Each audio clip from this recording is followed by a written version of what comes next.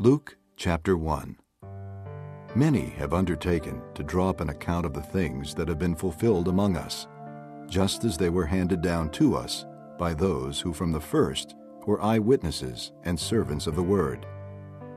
Therefore, since I myself have carefully investigated everything from the beginning, it seemed good also to me to write an orderly account for you, most excellent Theophilus, so that you may know the certainty of the things you have been taught. In the time of Herod, king of Judea, there was a priest named Zechariah, who belonged to the priestly division of Abijah. His wife Elizabeth was also a descendant of Aaron. Both of them were upright in the sight of God, observing all the Lord's commandments and regulations blamelessly. But they had no children, because Elizabeth was barren, and they were both well along in years. Once, when Zechariah's division was on duty and he was serving as priest before God, he was chosen by Lot, according to the custom of the priesthood, to go into the temple of the Lord and burn incense. And when the time for the burning of incense came, all the assembled worshippers were praying outside. Then an angel of the Lord appeared to him, standing at the right side of the altar of incense. When Zechariah saw him, he was startled and was gripped with fear. But the angel said to him, Do not be afraid, Zechariah. Your prayer has been heard. Your wife, Elizabeth, will bear you a son, and you are to give him the name John. He will be a joy and delight to you, and many will rejoice because of his birth, for he will be great in the sight of the Lord. He is never to take wine or other fermented drink, and he will be filled with the Holy Spirit even from birth. Many of the people of Israel will he bring back to the Lord their God, and he will go on before the Lord in the spirit and power of Elijah, to turn the hearts of the fathers to their children, and the disobedient to the wisdom of the righteous, to make ready a people prepared for the Lord. Zechariah asked the angel, How can I be sure of this? I am an old man, and my wife is well along in years. The angel answered, I am Gabriel. I stand in the presence of God, and I have been sent to speak to you and to tell you this good news. And now you will be silent and not able to speak until the day this happens, because you did not believe my words, which will come true at their proper time.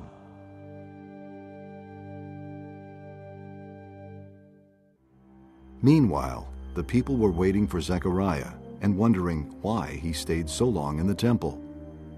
When he came out, he could not speak to them. They realized he had seen a vision in the temple, for he kept making signs to them, but remained unable to speak. When his time of service was completed, he returned home. After this, his wife Elizabeth became pregnant, and for five months remained in seclusion. The Lord has done this for me. She said, In these days he has shown his favor and taken away my disgrace among the people. In the sixth month, God sent the angel Gabriel to Nazareth, a town in Galilee, to a virgin pledged to be married to a man named Joseph, a descendant of David. The virgin's name was Mary. The angel went to her and said, Greetings, you who are highly favored. The Lord is with you. Mary was greatly troubled at his words and wondered what kind of greeting this might be. But the angel said to her, Do not be afraid, Mary. You have found favor with God. You will be with child and give birth to a son, and you are to give him the name Jesus. He will be great and will be called the Son of the Most High. The Lord God will give him the throne of his father David, and he will reign over the house of Jacob forever. His kingdom will never end. How will this be, Mary asked the angel. since I am a virgin? The angel answered, The Holy Spirit will come upon you, and the power of the Most High will overshadow you. So the Holy One to be born will be called the Son of God. Even Elizabeth, your relative, is going to have a child in her old age, and she who was said to be barren is in her sixth month. for nothing is impossible with God. I am the Lord's servant. Mary answered. May it be to me as you have said. Then the angel left her. At that time, Mary got ready and hurried to a town in the hill country of Judea, where she entered Zechariah's home and greeted Elizabeth.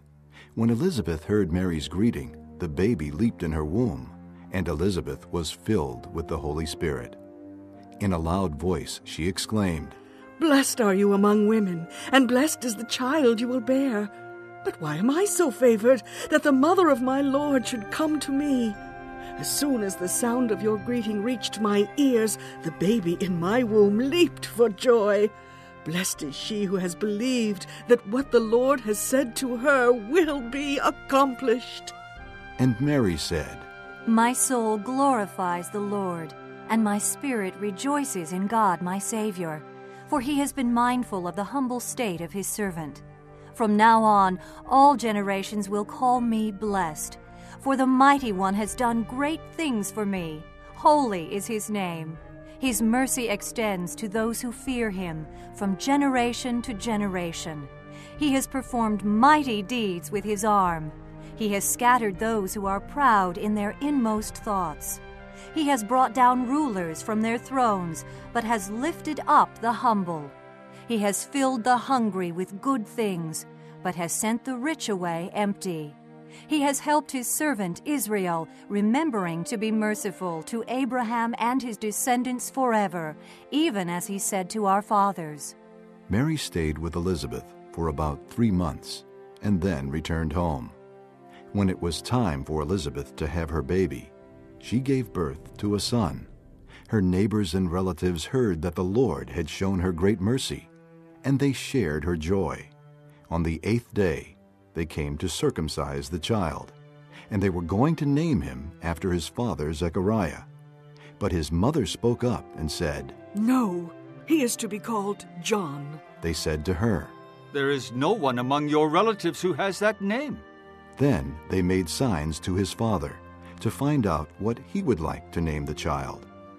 He asked for a writing tablet, and to everyone's astonishment, he wrote, His name is John. Immediately his mouth was opened, and his tongue was loosed, and he began to speak, praising God. The neighbors were all filled with awe, and throughout the hill country of Judea, people were talking about all these things. Everyone who heard this wondered about it, asking, What then is this child going to be? For the Lord's hand was with him. His father Zechariah was filled with the Holy Spirit and prophesied, Praise be to the Lord, the God of Israel, because he has come and has redeemed his people.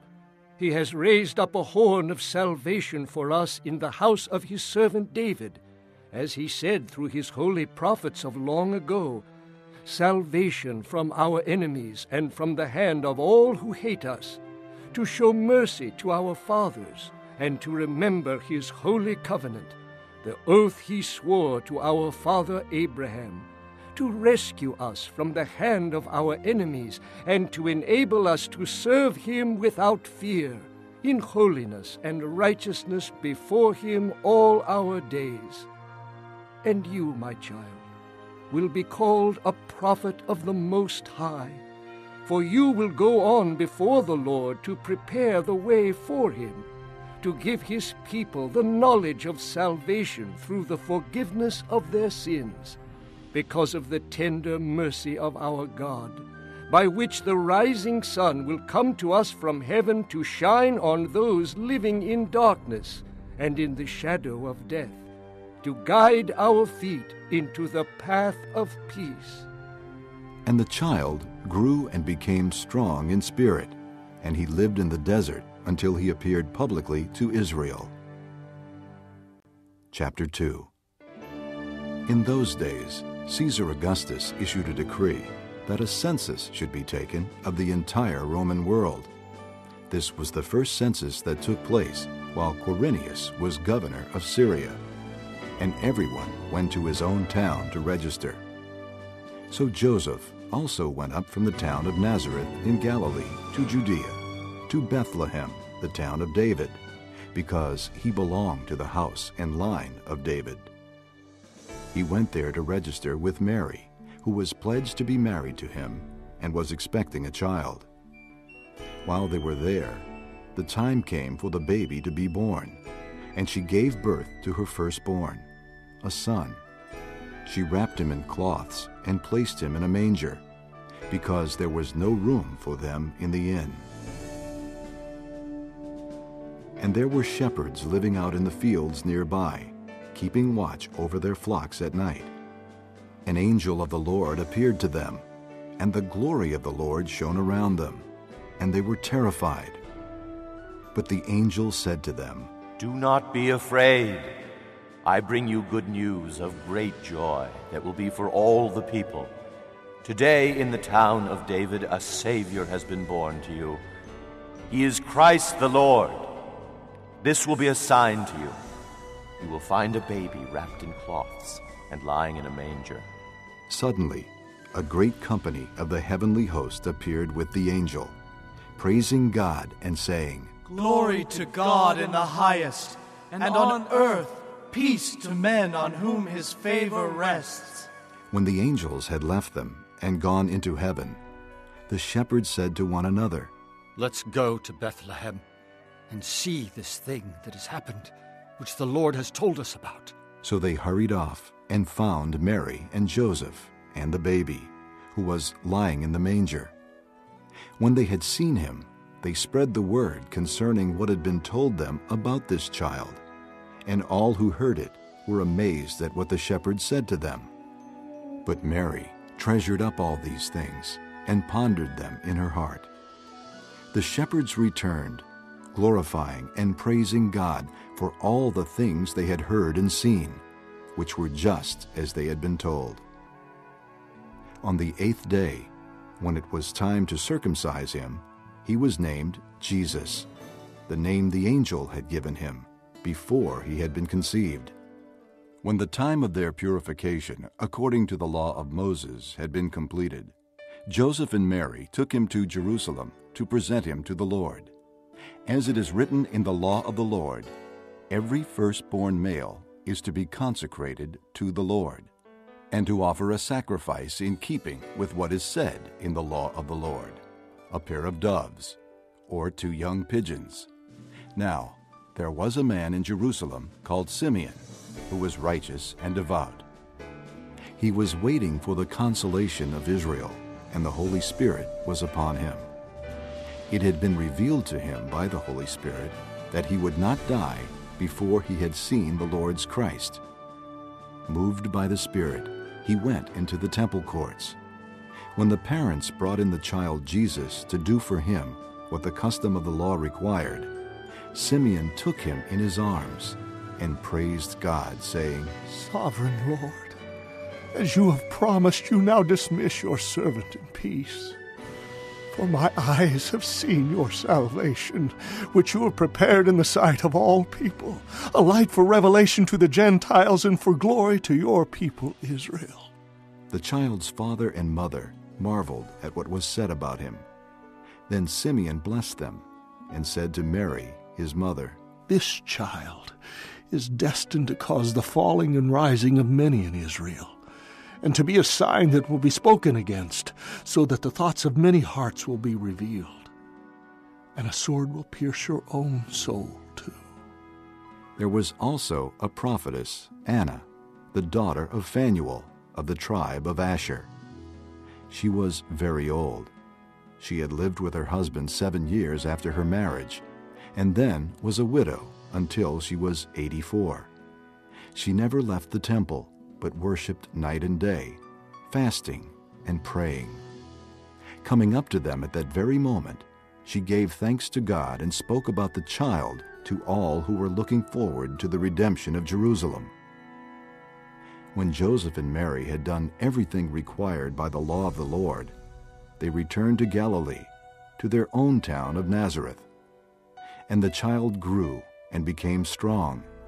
He was filled with wisdom and the grace of God was upon him. Every year his parents went to Jerusalem for the feast of the Passover.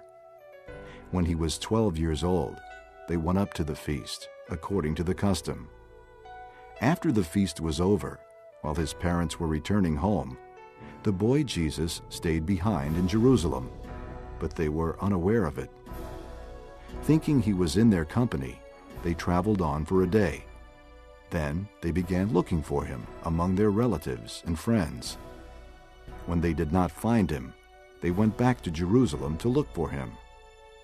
After three days, they found him in the temple courts, sitting among the teachers, listening to them and asking them questions.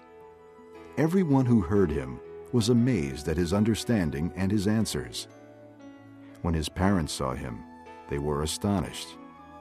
His mother said to him, Son, why have you treated us like this? Your father and I have been anxiously searching for you. Why were you searching for me? He asked. Didn't you know? I had to be in my father's house. But they did not understand what he was saying to them. Then he went down to Nazareth with them and was obedient to them. But his mother treasured all these things in her heart. And Jesus grew in wisdom and stature, and in favor with God and men. Chapter 3 In the fifteenth year of the reign of Tiberius Caesar, when Pontius Pilate was governor of Judea, Herod, tetrarch of Galilee, his brother Philip, tetrarch of Iturea and Trachonitis, and Lysanias, tetrarch of Abilene, during the high priesthood of Annas and Caiaphas, the word of God came to John, son of Zechariah, in the desert. He went into all the country around the Jordan, preaching a baptism of repentance for the forgiveness of sins, as is written in the book of the words of Isaiah the prophet, a voice of one calling in the desert, Prepare the way for the Lord, make straight paths for him. Every valley shall be filled in, every mountain and hill made low. The crooked roads shall become straight, the rough ways smooth, and all mankind will see God's salvation. John said to the crowds coming out to be baptized by him, You brood of vipers! Who warned you to flee from the coming wrath? Produce fruit in keeping with repentance, and do not begin to say to yourselves, We have Abraham as our father. For I tell you that out of these stones God can raise up children for Abraham. The axe is already at the root of the trees, and every tree that does not produce good fruit will be cut down and thrown into the fire. What should we do then? The crowd asked. John answered, The man with two tunics should share with him who has none, and the one who has food should do the same. Tax collectors also came to be baptized. Teacher, They asked. what should we do? Don't collect any more than you are required to. He told them. Then some soldiers asked him. And what should we do? He replied, Don't extort money, and don't accuse people falsely. Be content with your pay. The people were waiting expectantly and were all wondering in their hearts if John might possibly be the Christ. John answered them all. I baptize you with water, but one more powerful than I will come, the thongs of whose sandals I am not worthy to untie. He will baptize you with the Holy Spirit and with fire. His winnowing fork is in his hand to clear his threshing floor and to gather the wheat into his barn, but he will burn up the chaff with unquenchable fire. And with many other words, John exhorted the people and preached the good news to them. But when John rebuked Herod the tetrarch because of Herodias, his brother's wife, and all the other evil things he had done, Herod added this to them all. He locked John up in prison. When all the people were being baptized, Jesus was baptized too. And as he was praying, heaven was opened, and the Holy Spirit descended on him in bodily form like a dove. And a voice came from heaven You are my Son, whom I love. With you I am well pleased. Now, Jesus himself was about 30 years old when he began his ministry. He was the son, so it was thought, of Joseph, the son of Heli, the son of Matthat, the son of Levi, the son of Melki, the son of Jannai, the son of Joseph, the son of Mattathias, the son of Amos, the son of Nahum, the son of Esli, the son of Naggai, the son of Maath, the son of Mattathias, the son of Simeon, the son of Josech, the son of Joda, the son of Joanan, the son of Rhesa, the son of Zerubbabel, the son of Shealtiel, the son of Neri, the son of Melki, the son of Addi, the son of Cosam, the son of Elmadam, the son of Ur, the son of Joshua, the son of Eliezer, the son of Jorim, the son of Matthat, the son of Levi, the son of Simeon, the son of Judah, the son of Joseph, the son of Jonam, the son of Eliakim, the son of Melea, the son of Menna, the son of Mattatha, the son of Nathan, the son of David, the son of Jesse, the son of Obed, the son of Boaz, the son of Salmon, the son of Nahshon, the son of Amminadab, the son of Ram, the son of Hezron, the son of Perez, the son of Judah, the son of Jacob, the son of Isaac, the son of Abraham, the son of Terah, the son of Nahor, the son of Serug, the son of Reu, the son of Peleg, the son of Eber, the son of Shelah, the son of Canaan, the son of Arphaxad, the son of Shem, the son of Noah, the son of Lamech, the son of Methuselah, the son of Enoch, the son of Jared, the son of Mahalalel, the son of Kenan, the son of Enosh, the son of Seth, the son of Adam, the son of God. Chapter 4 Jesus, full of the Holy Spirit, returned from the Jordan and was led by the Spirit in the desert, where for forty days he was tempted by the devil. He ate nothing during those days, and at the end of them he was hungry. The devil said to him, If you are the Son of God, tell this stone to become bread.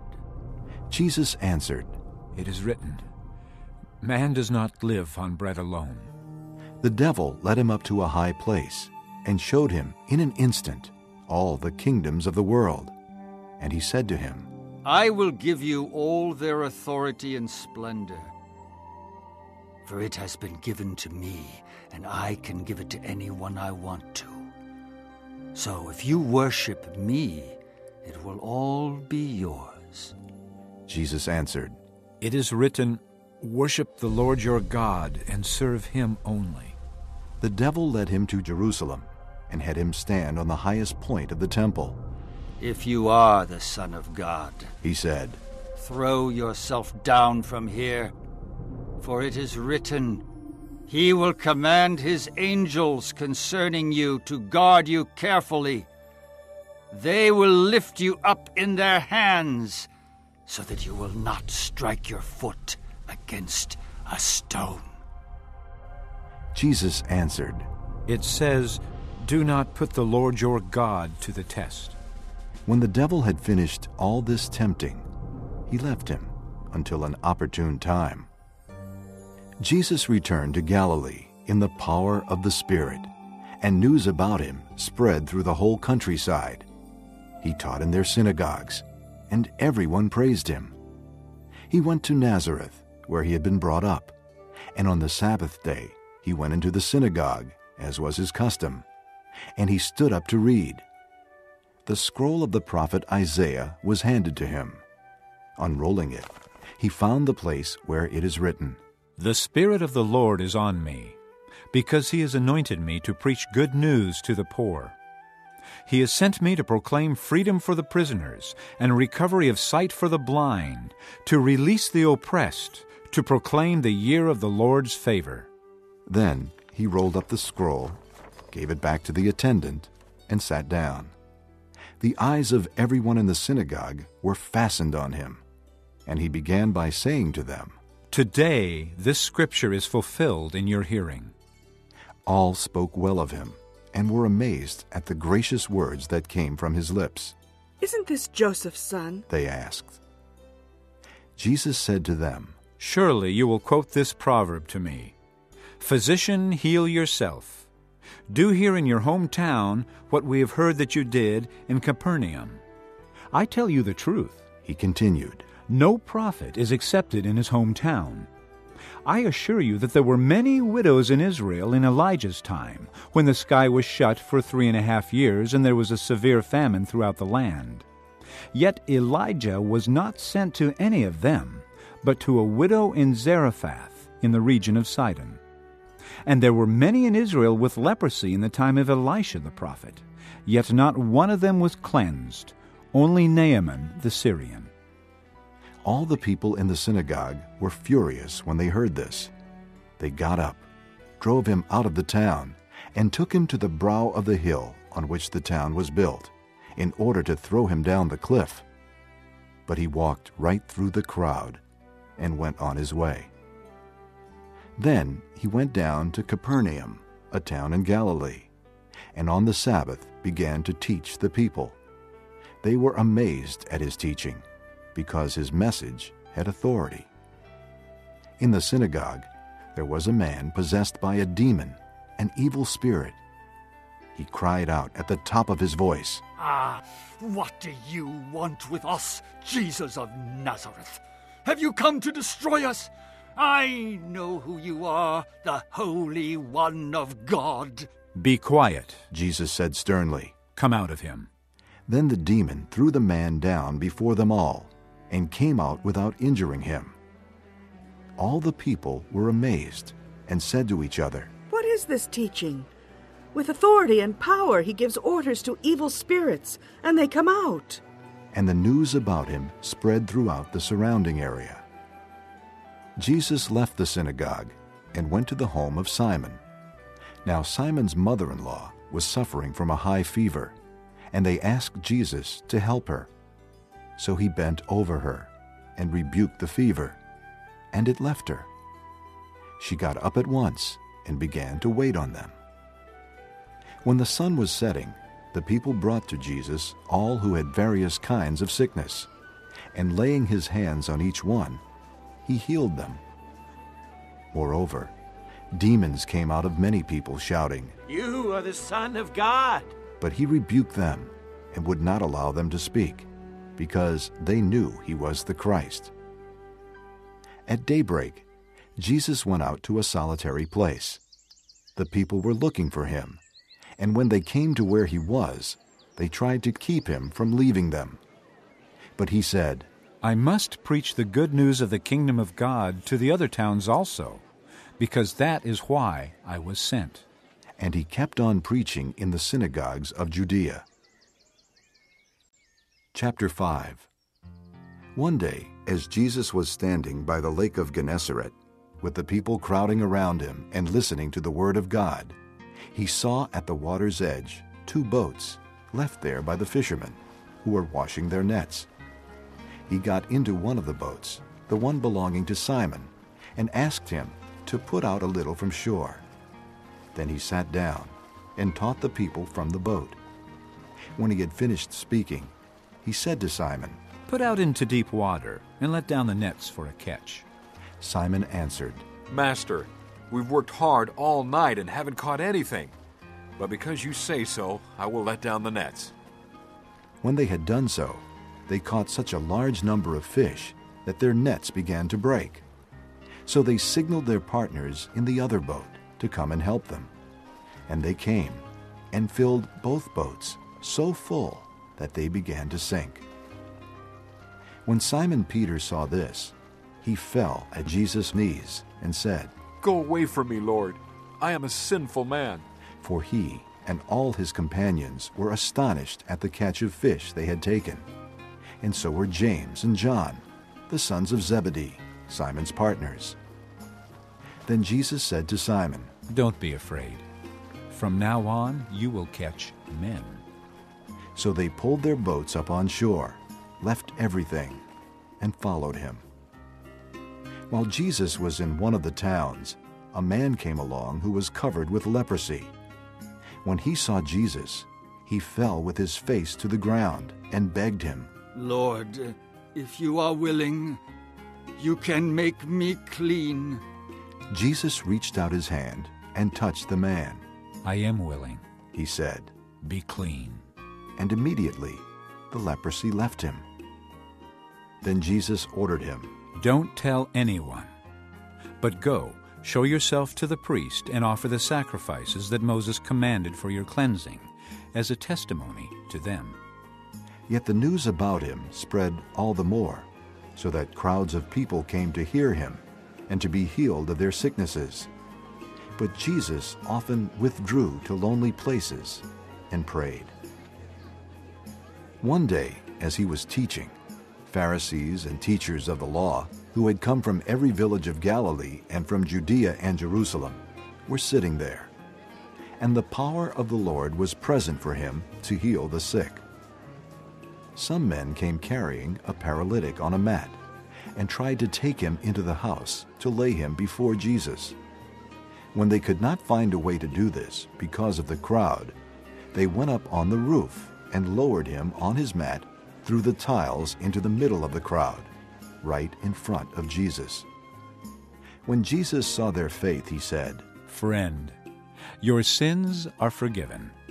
The Pharisees and the teachers of the law began thinking to themselves, Who is this fellow who speaks blasphemy? Who can forgive sins but God alone? Jesus knew what they were thinking and asked, Why are you thinking these things in your hearts? Which is easier, to say, Your sins are forgiven, or to say, Get up and walk? But that you may know that the Son of Man has authority on earth to forgive sins, he said to the paralyzed man, I tell you, get up, take your mat, and go home. Immediately he stood up in front of them, took what he had been lying on, and went home praising God. Everyone was amazed and gave praise to God. They were filled with awe and said, We have seen remarkable things today. After this, Jesus went out and saw a tax collector by the name of Levi sitting at his tax booth. Follow me, Jesus said to him. And Levi got up, left everything, and followed him. Then Levi held a great banquet for Jesus at his house, and a large crowd of tax collectors and others were eating with them. But the Pharisees and the teachers of the law who belonged to their sect complained to his disciples. Why do you eat and drink with tax collectors and sinners? Jesus answered them, It is not the healthy who need a doctor, but the sick. I have not come to call the righteous, but sinners to repentance. They said to him, John's disciples often fast and pray, and so do the disciples of the Pharisees. But yours go on eating and drinking. Jesus answered, Can you make the guests of the bridegroom fast while he is with them? But the time will come when the bridegroom will be taken from them. In those days they will fast. He told them this parable No one tears a patch from a new garment and sews it on an old one. If he does, he will have torn the new garment, and the patch from the new will not match the old. And no one pours new wine into old wineskins. If he does, the new wine will burst the skins, the wine will run out, and the wineskins will be ruined. No, new wine must be poured into new wineskins. And no one after drinking old wine wants the new, for he says, The old is better. Chapter 6 One Sabbath, Jesus was going through the grain fields, and his disciples began to pick some heads of grain, rub them in their hands, and eat the kernels. Some of the Pharisees asked, Why are you doing what is unlawful on the Sabbath?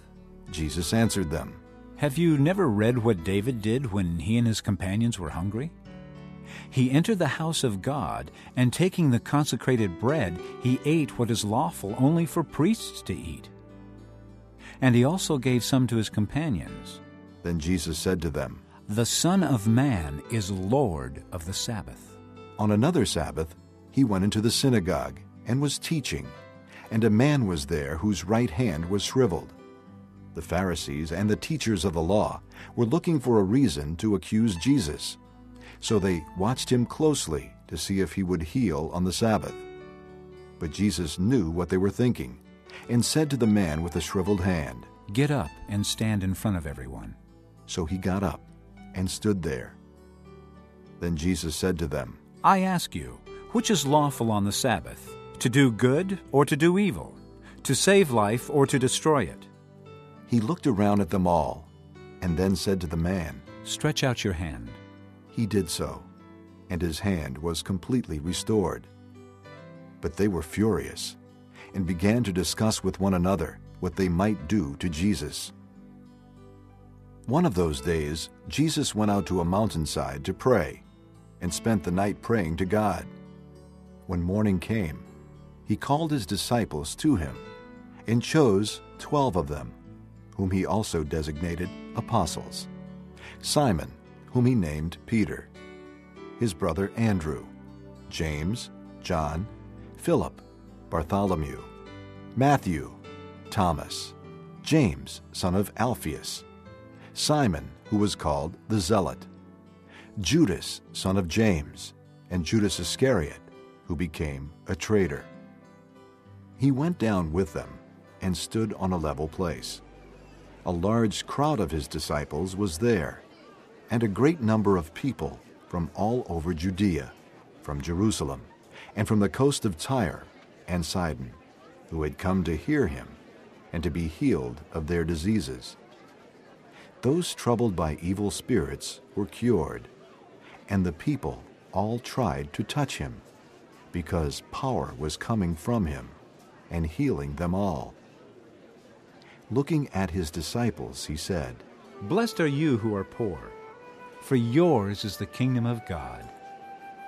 Blessed are you who hunger now, for you will be satisfied. Blessed are you who weep now, for you will laugh. Blessed are you when men hate you, when they exclude you and insult you and reject your name as evil because of the Son of Man. Rejoice in that day and leap for joy, because great is your reward in heaven. For that is how their fathers treated the prophets.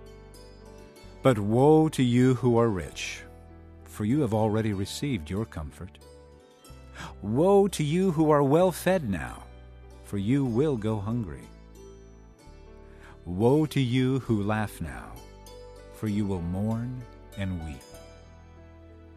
Woe to you when all men speak well of you, for that is how their fathers treated the false prophets.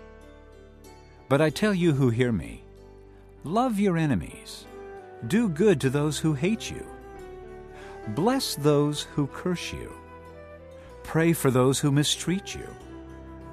If someone strikes you on one cheek, turn to him the other also. If someone takes your cloak, do not stop him from taking your tunic.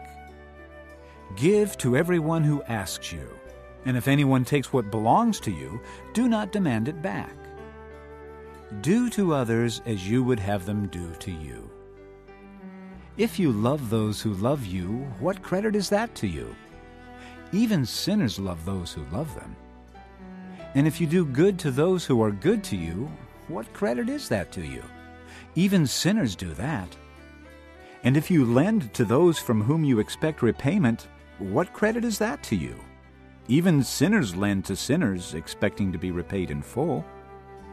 But love your enemies, do good to them, and lend to them without expecting to get anything back. Then your reward will be great, and you will be sons of the Most High, because He is kind to the ungrateful and wicked. Be merciful, just as your Father is merciful. Do not judge, and you will not be judged. Do not condemn, and you will not be condemned. Forgive, and you will be forgiven. Give, and it will be given to you. A good measure, pressed down, shaken together, and running over, will be poured into your lap. For with the measure you use, it will be measured to you. He also told them this parable Can a blind man lead a blind man? Will they not both fall into a pit? A student is not above his teacher, but everyone who is fully trained will be like his teacher. Why do you look at the speck of sawdust in your brother's eye and pay no attention to the plank in your own eye?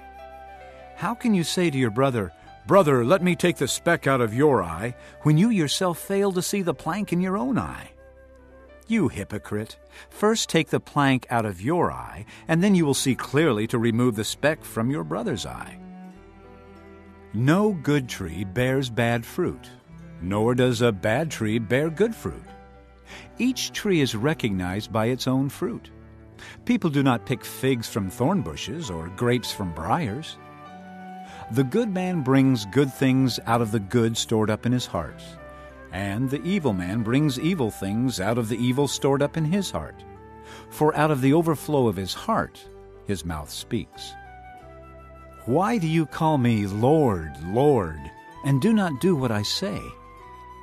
I will show you what he is like who comes to me and hears my words and puts them into practice.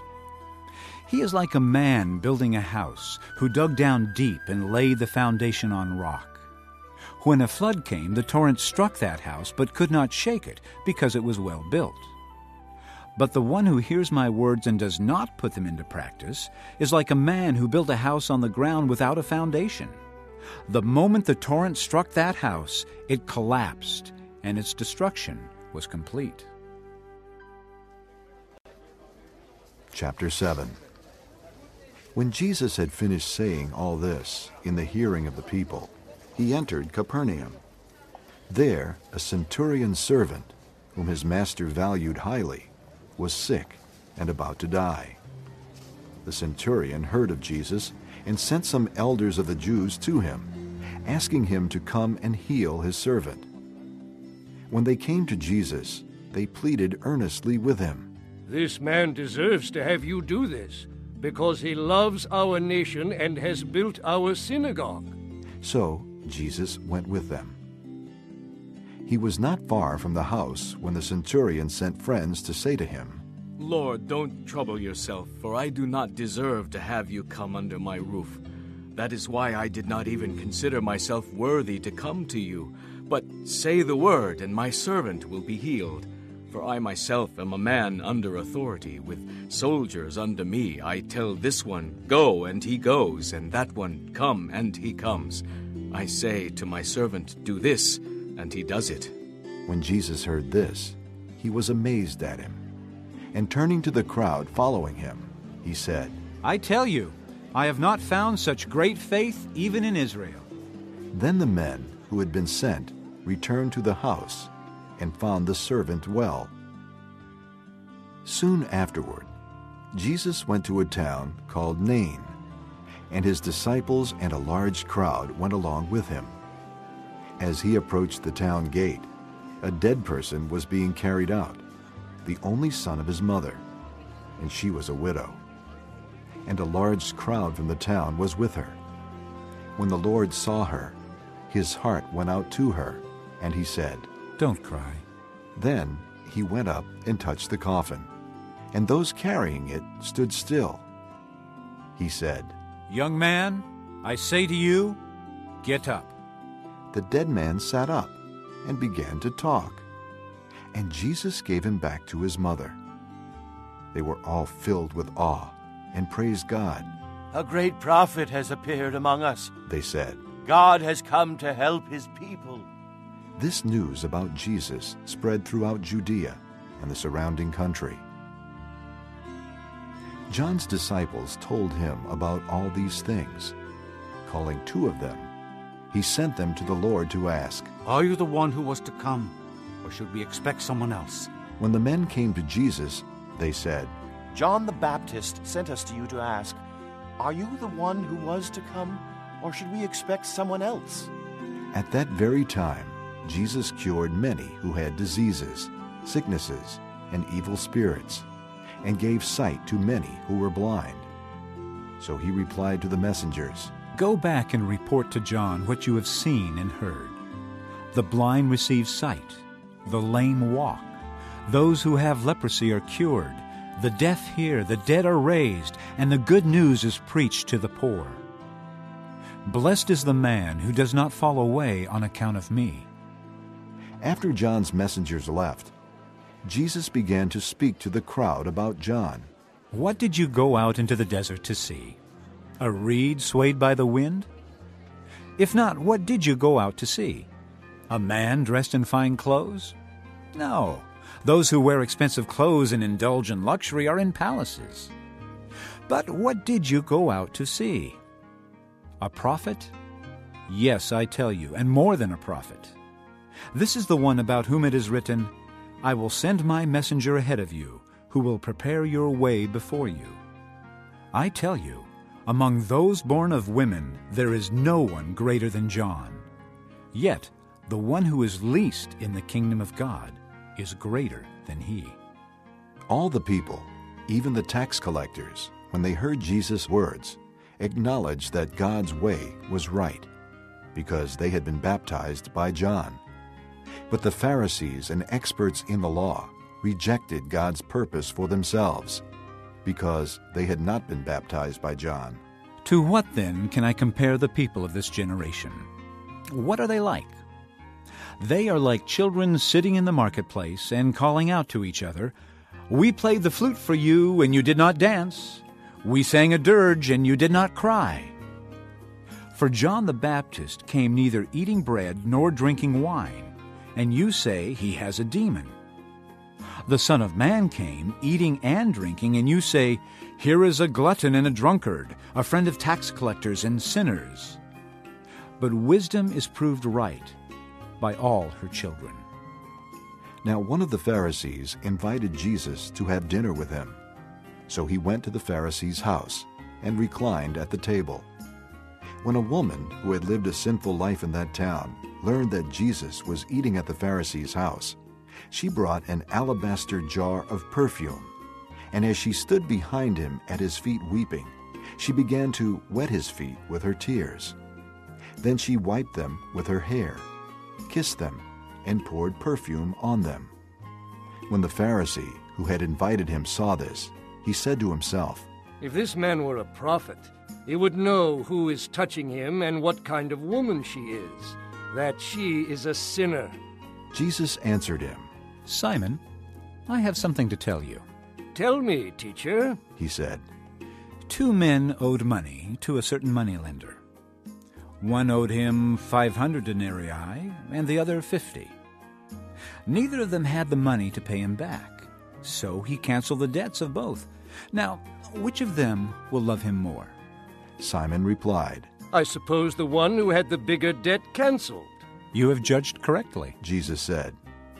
Then he turned toward the woman and said to Simon, Do you see this woman? I came into your house. You did not give me any water for my feet, but she wet my feet with her tears and wiped them with her hair. You did not give me a kiss, but this woman, from the time I entered, has not stopped kissing my feet. You did not put oil on my head, but she has poured perfume on my feet. Therefore I tell you, her many sins have been forgiven, for she loved much. But he who has been forgiven little loves little. Then Jesus said to her, Your sins are forgiven. The other guests began to say among themselves, Who is this who even forgives sins? Jesus said to the woman, Your faith has saved you. Go in peace.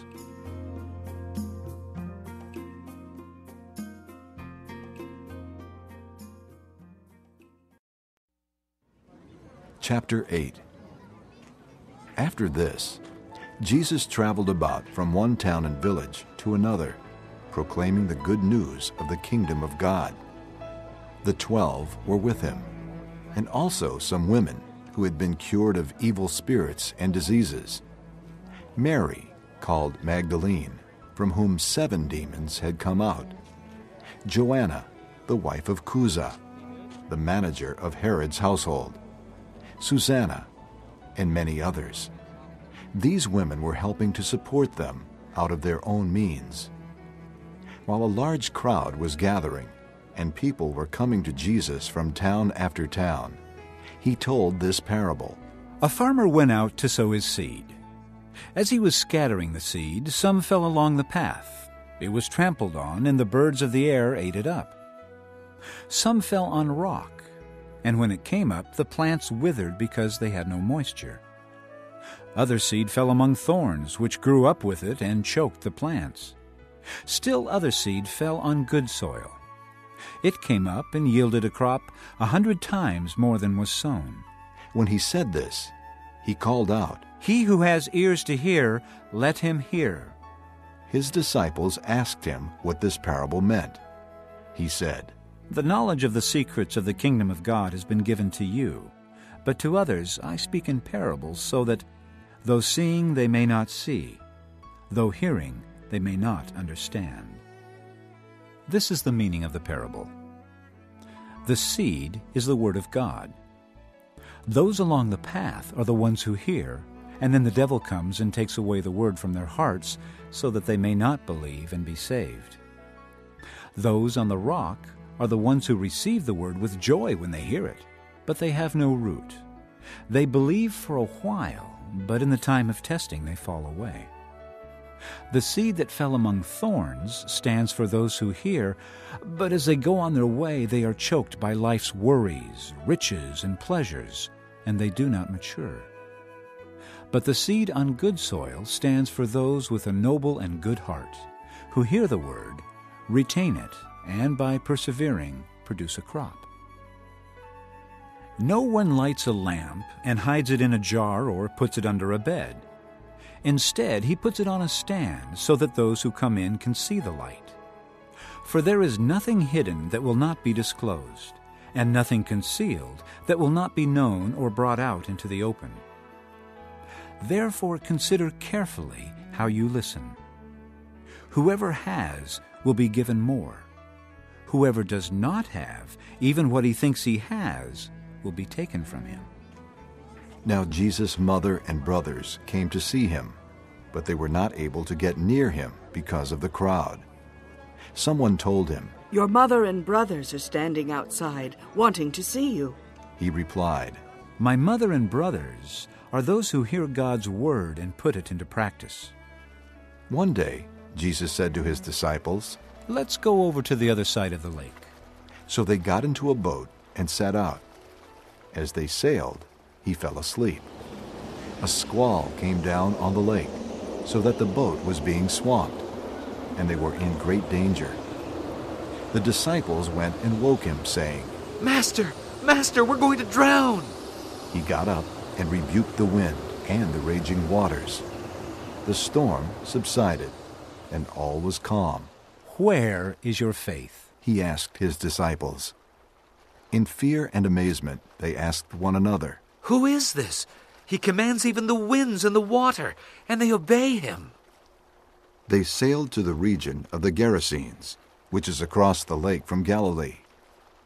When Jesus stepped ashore, he was met by a demon possessed man from the town. For a long time, this man had not worn clothes or lived in a house, but had lived in the tombs. When he saw Jesus, he cried out and fell at his feet, shouting at the top of his voice, What do you want with me, Jesus, Son of the Most High God? I beg you, don't torture me. For Jesus had commanded the evil spirit to come out of the man. Many times it had seized him, and though he was chained hand and foot and kept under guard, he had broken his chains and had been driven by the demon into solitary places. Jesus asked him, What is your name? Legion, he replied, because many demons had gone into him. And they begged him repeatedly not to order them to go into the abyss. A large herd of pigs was feeding there on the hillside. The demons begged Jesus to let them go into them, and he gave them permission. When the demons came out of the man, they went into the pigs, and the herd rushed down the steep bank into the lake and was drowned. When those tending the pigs saw what had happened, they ran off and reported this in the town and countryside, and the people went out to see what had happened. When they came to Jesus, they found the man from whom the demons had gone out, sitting at Jesus' feet, dressed and in his right mind. And they were afraid. Those who had seen it told the people how the demon possessed man had been cured. Then all the people of the region of the Gerasenes asked Jesus to leave them, because they were overcome with fear. So he got into the boat and left. The man from whom the demons had gone out begged to go with him, but Jesus sent him away, saying, Return home and tell how much God has done for you. So the man went away and told all over town how much Jesus had done for him. Now, when Jesus returned, a crowd welcomed him, for they were all expecting him. Then a man named Jairus, a ruler of the synagogue, came and fell at Jesus' feet, pleading with him to come to his house because his only daughter, a girl of about 12, was dying. As Jesus was on his way, the crowds almost crushed him. And a woman was there who had been subject to bleeding for 12 years, but no one could heal her. She came up behind him and touched the edge of his cloak, and immediately her bleeding stopped. Who touched me? Jesus asked. When they all denied it, Peter said, Master, the people are crowding and pressing against you. But Jesus said, Someone touched me. I know that power has gone out from me. Then the woman, seeing that she could not go unnoticed, came trembling and fell at his feet. In the presence of all the people, she told why she had touched him and how she had been instantly healed. Then he said to her, Daughter, your faith has healed you. Go in peace. While Jesus was still speaking, someone came from the house of Jairus, the synagogue ruler. Your daughter is dead, he said. Don't bother the teacher anymore. Hearing this, Jesus said to Jairus, Don't be afraid. Just believe, and she will be healed. When he arrived at the house of Jairus, he did not let anyone go in with him except Peter, John, and James, and the child's father and mother. Meanwhile, all the people were wailing and mourning for her. Stop wailing, Jesus said. She is not dead, but asleep. They laughed at him, knowing that she was dead. But he took her by the hand and said, My child, get up. Her spirit returned, and at once she stood up. Then Jesus told them to give her something to eat. Her parents were astonished, but he ordered them not to tell anyone what had happened. Chapter 9 When Jesus had called the twelve together, he gave them power and authority to drive out all demons and to cure diseases, and he sent them out to preach the kingdom of God and to heal the sick. He told them, Take nothing for the journey no staff, no bag, no bread, no money, no extra tunic.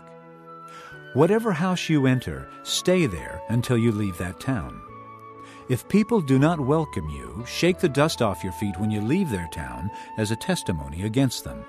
So they set out and went from village to village, preaching the gospel and healing people everywhere. Now, Herod the Tetrarch heard about all that was going on, and he was perplexed, because some were saying that John had been raised from the dead, others that Elijah had appeared, and still others that one of the prophets of long ago had come back to life. But Herod said, I beheaded John. Who then is this I hear such things about? And he tried to see him. When the apostles returned, they reported to Jesus what they had done. Then he took them with him, and they withdrew by themselves to a town called Bethsaida. But the crowds learned about it and followed him. He welcomed them and spoke to them about the kingdom of God and healed those who needed healing. Late in the afternoon, the twelve came to him and said, Send the crowd away so they can go to the surrounding villages and countryside and find food and lodging, because we are in a remote place here. He replied, You give them something to eat. They answered, We have only five loaves of bread and two fish. unless we go and buy food for all this crowd? About 5,000 men were there. But he said to his disciples, Have them sit down in groups of about fifty each. The disciples did so, and everybody sat down. Taking the five loaves and the two fish, and looking up to heaven, he gave thanks and broke them. Then he gave them to the disciples to set before the people. They all ate and were satisfied. And the disciples picked up twelve basketfuls of broken pieces that were left over. Once, when Jesus was praying in private, and his disciples were with him, he asked them, Who do the crowds say I am? They replied, Some say John the Baptist, others say Elijah, and still others that one of the prophets of long ago has come back to life. But what about you? He asked. Who do you say I am? Peter answered, The Christ of God. Jesus strictly warned them not to tell this to anyone. And he said, The Son of Man must suffer many things and be rejected by the elders, chief priests, and teachers of the law. And he must be killed, and on the third day be raised to life. Then he said to them all, If anyone would come after me, he must deny himself and take up his cross daily and follow me. For whoever wants to save his life will lose it, but whoever loses his life for me will save it. What good is it for a man to gain the whole world and yet lose or forfeit his very self? If anyone is ashamed of me and my words, the Son of Man will be ashamed of him when he comes in his glory and in the glory of the Father and of the holy angels. I tell you the truth. Some who are standing here will not taste death before they see the kingdom of God. About eight days after Jesus said this, he took Peter, John, and James with him, and went up onto a mountain to pray. As he was praying, the appearance of his face changed, and his clothes became as bright as a flash of lightning. Two men, Moses and Elijah, appeared in glorious splendor, talking with Jesus.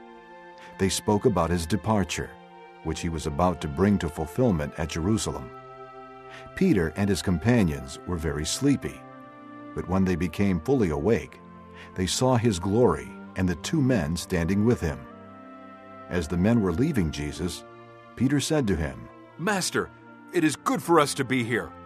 Let us put up three shelters one for you, one for Moses, and one for Elijah. He did not know what he was saying. While he was speaking, a cloud appeared and enveloped them, and they were afraid as they entered the cloud. A voice came from the cloud saying, This is my Son, whom I have chosen. Listen to him. When the voice had spoken, they found that Jesus was alone. The disciples kept this to themselves and told no one at that time what they had seen. The next day, when they came down from the mountain, a large crowd met him. A man in the crowd called out, Teacher, I beg you to look at my son, for he is my only child. A spirit seizes him, and he suddenly screams. It throws him into convulsions so that he foams at the mouth. It scarcely ever leaves him and is destroying him. I begged your disciples to drive it out, but they could not. Oh, unbelieving and perverse generation, Jesus replied, How long shall I stay with you and put up with you? Bring your son here. Even while the boy was coming, the demon threw him to the ground in a convulsion. But Jesus rebuked the evil spirit, healed the boy, and gave him back to his father. And they were all amazed at the greatness of God. While everyone was marveling at all that Jesus did, he said to his disciples, Listen carefully to what I am about to tell you. The Son of Man is going to be betrayed into the hands of men. But they did not understand what this meant. It was hidden from them, so that they did not grasp it, and they were afraid to ask him about it. An argument started among the disciples as to which of them would be the greatest. Jesus, knowing their thoughts, took a little child and had him stand beside him. Then he said to them, Whoever welcomes this little child in my name welcomes me. And whoever welcomes me welcomes the one who sent me. For he who is least among you all, he is the greatest. Master, said John, we saw a man driving out demons in your name, and we tried to stop him because he is not one of us. Do not stop him, Jesus said, for whoever is not against you is for you. As the time approached for him to be taken up to heaven, Jesus resolutely set out for Jerusalem. And he sent messengers on ahead, who went into a Samaritan village to get things ready for him. But the people there did not welcome him because he was heading for Jerusalem. When the disciples, James and John, saw this, they asked, Lord, do you want us to call fire down from heaven to destroy them? But Jesus turned and rebuked them, and they went to another village. As they were walking along the road, a man said to him, I will follow you wherever you go. Jesus replied, Foxes have holes, and birds of the air have nests but the Son of Man has no place to lay his head. He said to another man, Follow me. But the man replied, Lord, first let me go and bury my father. Jesus said to him, Let the dead bury their own dead, but you go and proclaim the kingdom of God. Still, another said, I will follow you, Lord. But first let me go back and say goodbye to my family. Jesus replied, no one who puts his hand to the plow and looks back is fit for service in the kingdom of God.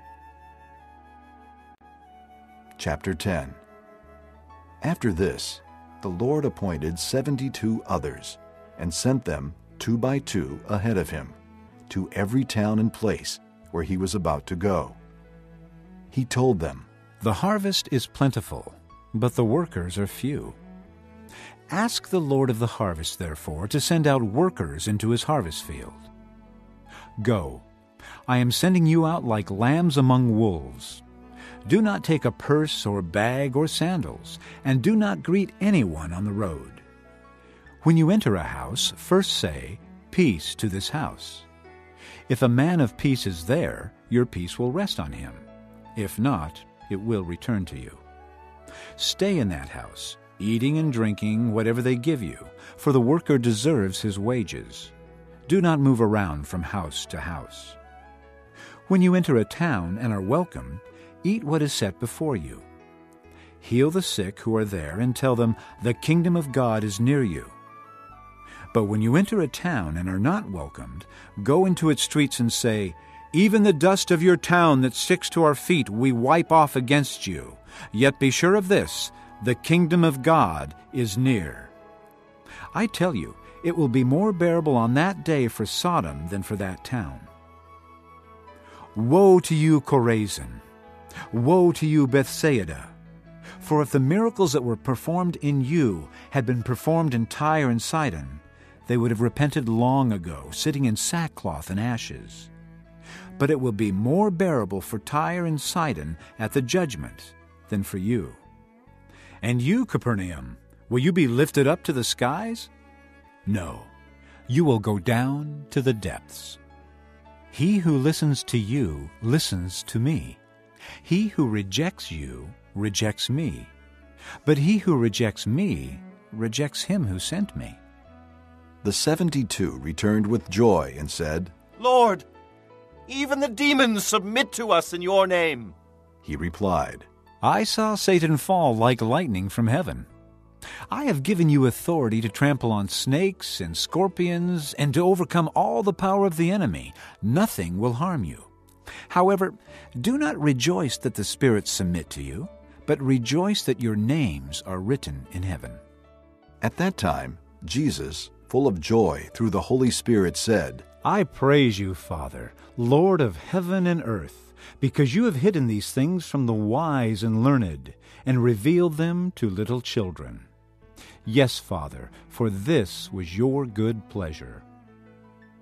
All things have been committed to me by my Father. No one knows who the Son is except the Father, and no one knows who the Father is except the Son and those to whom the Son chooses to reveal him. Then he turned to his disciples and said privately, Blessed are the eyes that see what you see. For I tell you that many prophets and kings wanted to see what you see, but did not see it, and to hear what you hear, but did not hear it. On one occasion, an expert in the law stood up to test Jesus. Teacher, he asked, What must I do to inherit eternal life? What is written in the law? He replied. How do you read it? He answered, Love the Lord your God with all your heart, and with all your soul, and with all your strength, and with all your mind, and love your neighbor as yourself. You have answered correctly, Jesus replied. Do this, and you will live. But he wanted to justify himself, so he asked Jesus, And who is my neighbor? In reply, Jesus said, A man was going down from Jerusalem to Jericho when he fell into the hands of robbers. They stripped him of his clothes, beat him, and went away, leaving him half dead. A priest happened to be going down the same road, and when he saw the man, he passed by on the other side. So too a Levite, when he came to the place and saw him, passed by on the other side. But a Samaritan, as he traveled, came where the man was. And when he saw him, he took pity on him. He went to him and bandaged his wounds, pouring on oil and wine. Then he put the man on his own donkey, took him to an inn, and took care of him. The next day he took out two silver coins and gave them to the innkeeper. Look after him, he said, and when I return, I will reimburse you for any extra expense you may have. Which of these three do you think was a neighbor to the man who fell into the hands of robbers? The expert in the law replied, The one who had mercy on him. Jesus told him, Go and do likewise. As Jesus and his disciples were on their way, he came to a village where a woman named Martha opened her home to him. She had a sister called Mary, who sat at the Lord's feet listening to what he said. But Martha was distracted by all the preparations that had to be made.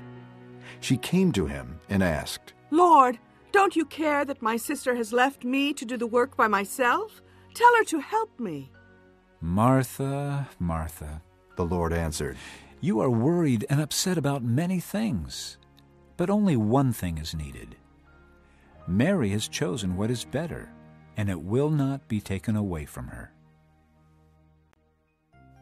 Chapter 11 One day, Jesus was praying in a certain place. When he finished, one of his disciples said to him, Lord, teach us to pray, just as John taught his disciples. He said to them, When you pray, say, Father, hallowed be your name. Your kingdom come. Give us each day our daily bread. Forgive us our sins, for we also forgive everyone who sins against us. And lead us not into temptation. Then he said to them, Suppose one of you has a friend, and he goes to him at midnight and says, Friend, lend me three loaves of bread, because a friend of mine on a journey has come to me, and I have nothing to set before him. Then the one inside answers, Don't bother me. The door is already locked, and my children are with me in bed. I can't get up and give you anything. I tell you, though he will not get up and give him the bread because he is his friend, yet because of the man's boldness he will get up and give him as much as he needs. So I say to you, ask, and it will be given to you. Seek, and you will find. Knock, and the door will be opened to you. For everyone who asks receives. He who seeks finds. And to him who knocks, the door will be opened. Which of you fathers, if your son asks for a fish, will give him a snake instead? Or if he asks for an egg, will give him a scorpion?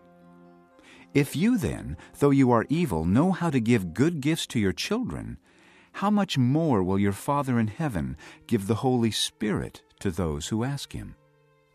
Jesus was driving out a demon that was mute. When the demon left, the man who had been mute spoke, and the crowd was amazed. But some of them said, By Beelzebub, the prince of demons, he is driving out demons.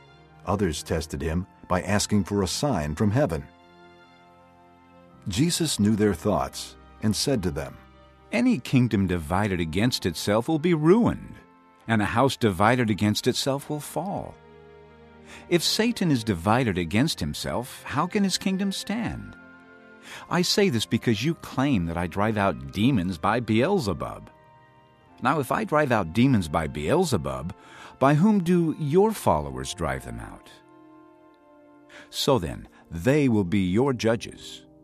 But if I drive out demons by the finger of God, then the kingdom of God has come to you. When a strong man, fully armed, guards his own house, his possessions are safe. But when someone stronger attacks and overpowers him, he takes away the armor in which the man trusted and divides up the spoils. He who is not with me is against me, and he who does not gather with me scatters. When an evil spirit comes out of a man, it goes through arid places seeking rest and does not find it. Then it says, I will return to the house I left. When it arrives, it finds the house swept clean and put in order. Then it goes and takes seven other spirits more wicked than itself, and they go in and live there. And the final condition of that man is worse than the first. As Jesus was saying these things, a woman in the crowd called out, Blessed is the mother who gave you birth and nursed you. He replied, Blessed rather are those who hear the word of God and obey it. As the crowds increased, Jesus said, This is a wicked generation. It asks for a miraculous sign, but none will be given it except the sign of Jonah. For as Jonah was a sign to the Ninevites, so also will the Son of Man be to this generation. The Queen of the South will rise at the judgment with the men of this generation and condemn them, for she came from the ends of the earth to listen to Solomon's wisdom. And now one greater than Solomon is here. The men of Nineveh will stand up at the judgment with this generation and condemn it, for they repented at the preaching of Jonah and now one greater than Jonah is here. No one lights a lamp and puts it in a place where it will be hidden, or under a bowl. Instead, he puts it on its stand, so that those who come in may see the light. Your eye is the lamp of your body. When your eyes are good, your whole body also is full of light. But when they are bad, your body also is full of darkness. See to it, then, that the light within you is not darkness. Therefore, if your whole body is full of light and no part of it dark, it will be completely lighted, as when the light of a lamp shines on you. When Jesus had finished speaking, a Pharisee invited him to eat with him. So he went in and reclined at the table. But the Pharisee, noticing that Jesus did not first wash before the meal, was surprised then the Lord said to him, Now then, you Pharisees clean the outside of the cup and dish, but inside you are full of greed and wickedness. You foolish people! Did not the one who made the outside make the inside also? But give what is inside the dish to the poor, and everything will be clean for you. Woe to you, Pharisees! Because you give God a tenth of your mint, rue, and all other kinds of garden herbs, but you neglect justice and the love of God. You should have practiced the latter without leaving the former undone.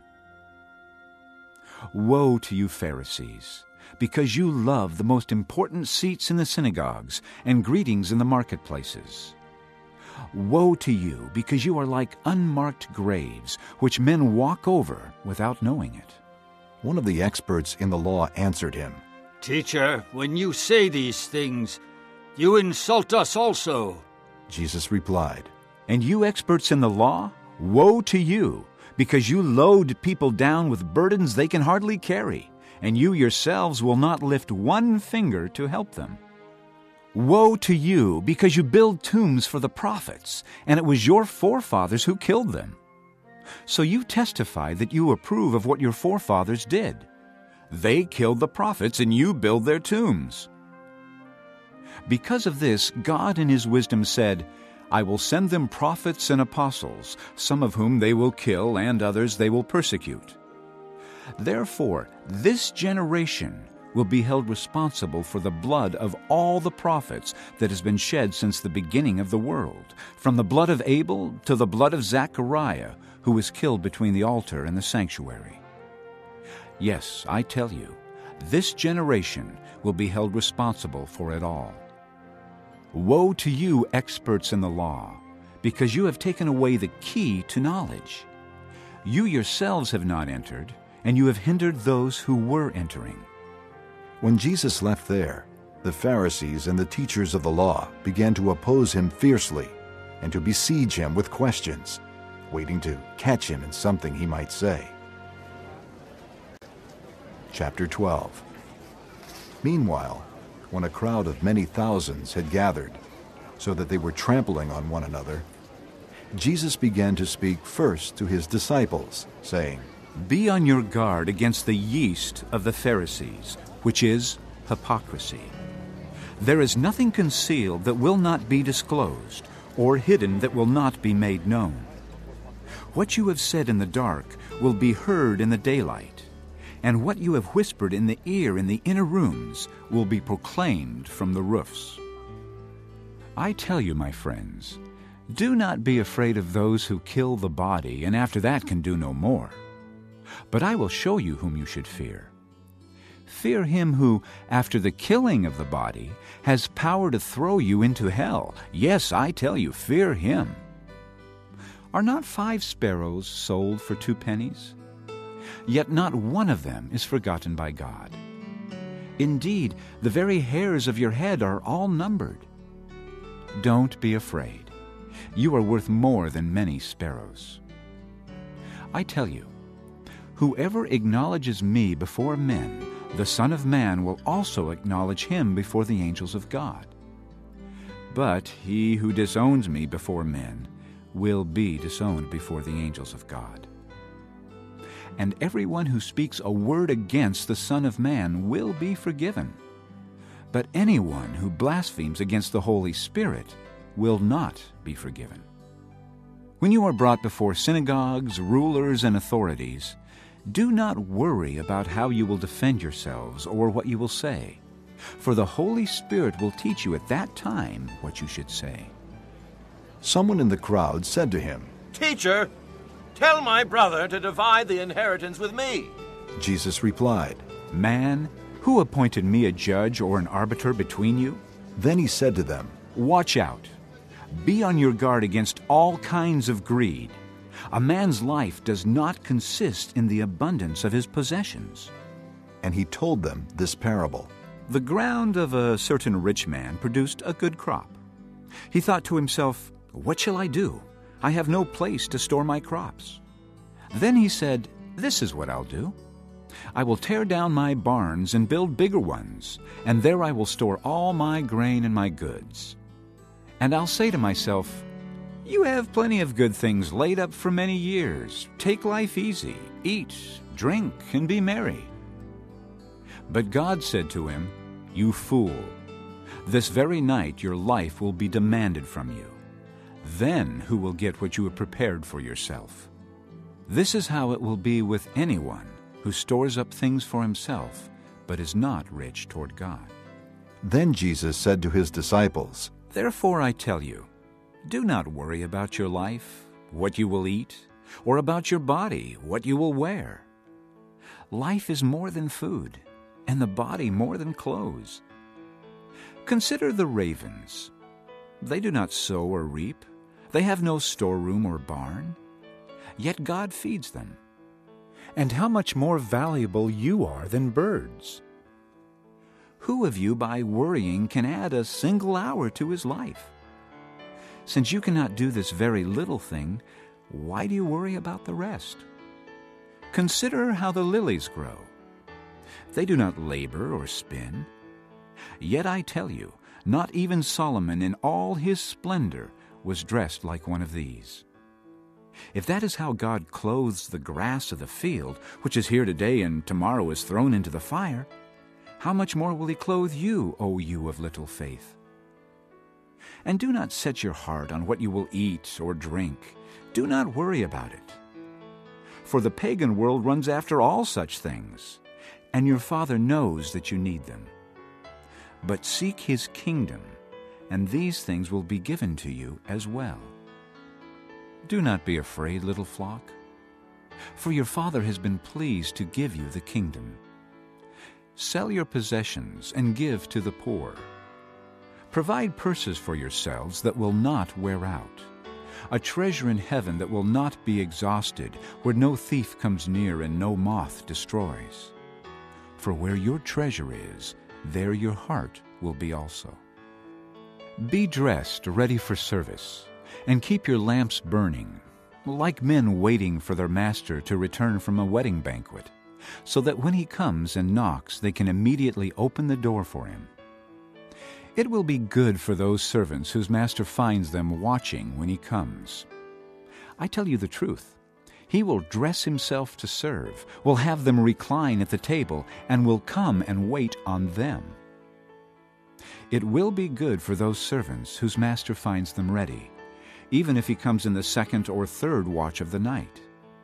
But understand this if the owner of the house had known at what hour the thief was coming, he would not have let his house be broken into.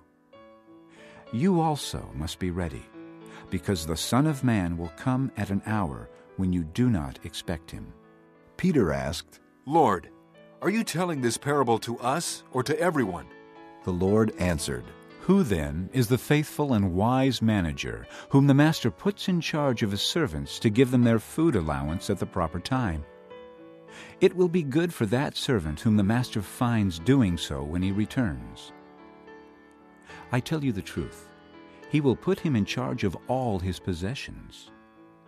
But suppose the servant says to himself, My master's taking a long time in coming and he then begins to beat the men servants and maidservants, and to eat and drink and get drunk. The master of that servant will come on a day when he does not expect him, and at an hour he is not aware of. He will cut him to pieces, and assign him a place with the unbelievers. That servant who knows his master's will and does not get ready or does not do what his master wants will be beaten with many blows. But the one who does not know and does things deserving punishment will be beaten with few blows. From everyone who has been given much, much will be demanded. And from the one who has been entrusted with much, much more will be asked. I have come to bring fire on the earth, and how I wish it were already kindled. But I have a baptism to undergo, and how distressed I am until it is completed. Do you think I came to bring peace on earth? No, I tell you, but division.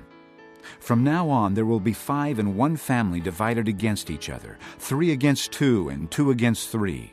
They will be divided, father against son, and son against father, mother against daughter, and daughter against mother, mother in law against daughter in law, and daughter in law against mother in law.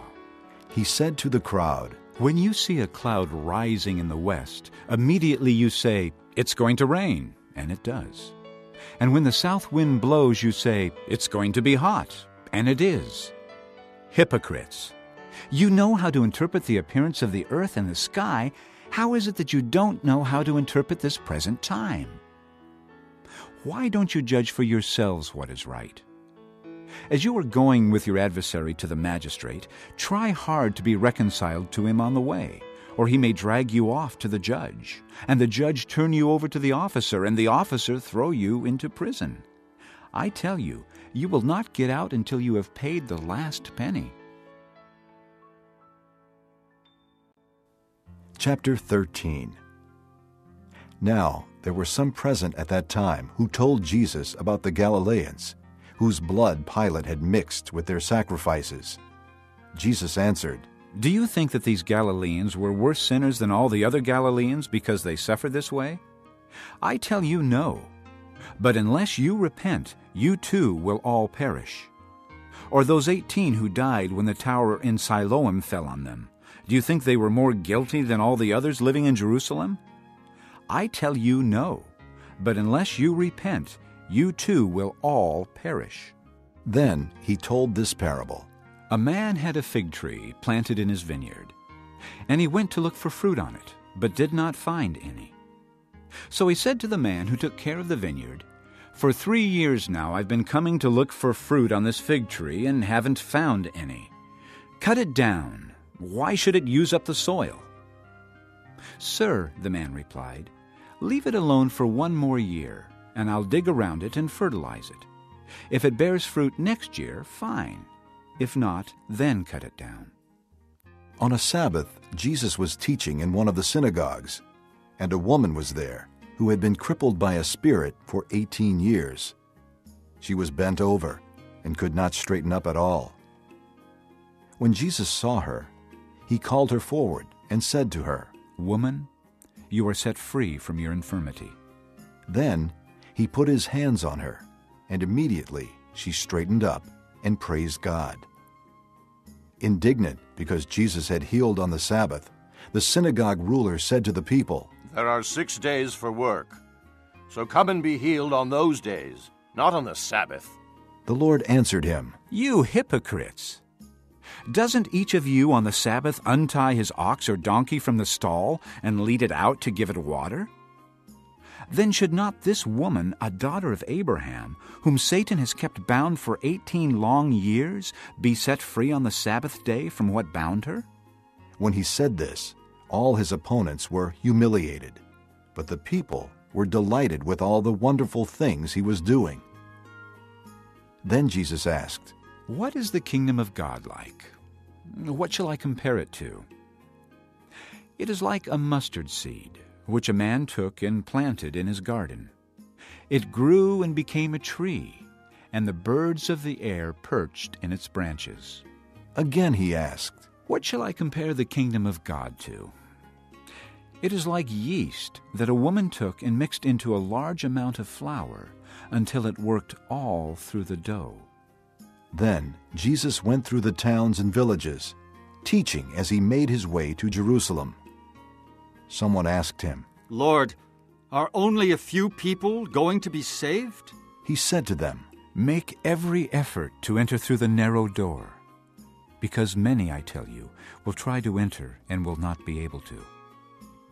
Once the owner of the house gets up and closes the door, you will stand outside knocking and pleading, Sir, open the door for us. But he will answer, I don't know you or where you come from. Then you will say, We ate and drank with you, and you taught in our streets. But he will reply, I don't know you or where you come from. Away from me, all you evildoers. There will be weeping there, and gnashing of teeth, when you see Abraham, Isaac, and Jacob, and all the prophets in the kingdom of God, but you yourselves thrown out. People will come from east and west and north and south, and will take their places at the feast in the kingdom of God. Indeed, there are those who are last who will be first, and first who will be last. At that time, some Pharisees came to Jesus and said to him, Leave this place and go somewhere else. Herod wants to kill you. He replied, Go tell that fox, I will drive out demons and heal people today and tomorrow, and on the third day I will reach my goal. In any case, I must keep going today and tomorrow and the next day, for surely no prophet can die outside Jerusalem. O Jerusalem, Jerusalem, you who kill the prophets and stone those sent to you. How often I have longed to gather your children together as a hen gathers her chicks under her wings, but you were not willing. Look, your house is left to you desolate. I tell you, you will not see me again until you say, Blessed is he who comes in the name of the Lord. Chapter 14 One Sabbath, when Jesus went to eat in the house of a prominent Pharisee, he was being carefully watched. There in front of him was a man suffering from dropsy. Jesus asked the Pharisees and experts in the law, Is it lawful to heal on the Sabbath or not? But they remained silent. So taking hold of the man, he healed him and sent him away. Then he asked them, If one of you has a son or an ox that falls into a well on the Sabbath day, uh, will you not immediately pull him out? And they had nothing to say. When he noticed how the guests picked the places of honor at the table, he told them this parable. When someone invites you to a wedding feast, do not take the place of honor, for a person more distinguished than you may have been invited. If so, the host who invited both of you will come and say to you, Give this man your seat. Then, humiliated, you will have to take the least important place. But when you are invited, take the lowest place, so that when your host comes, he will say to you, Friend, move up to a better place. Then you will be honored in the presence of all your fellow guests. For everyone who exalts himself will be humbled, and he who humbles himself will be exalted.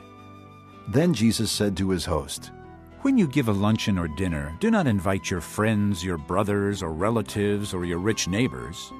If you do, they may invite you back, and so you will be repaid.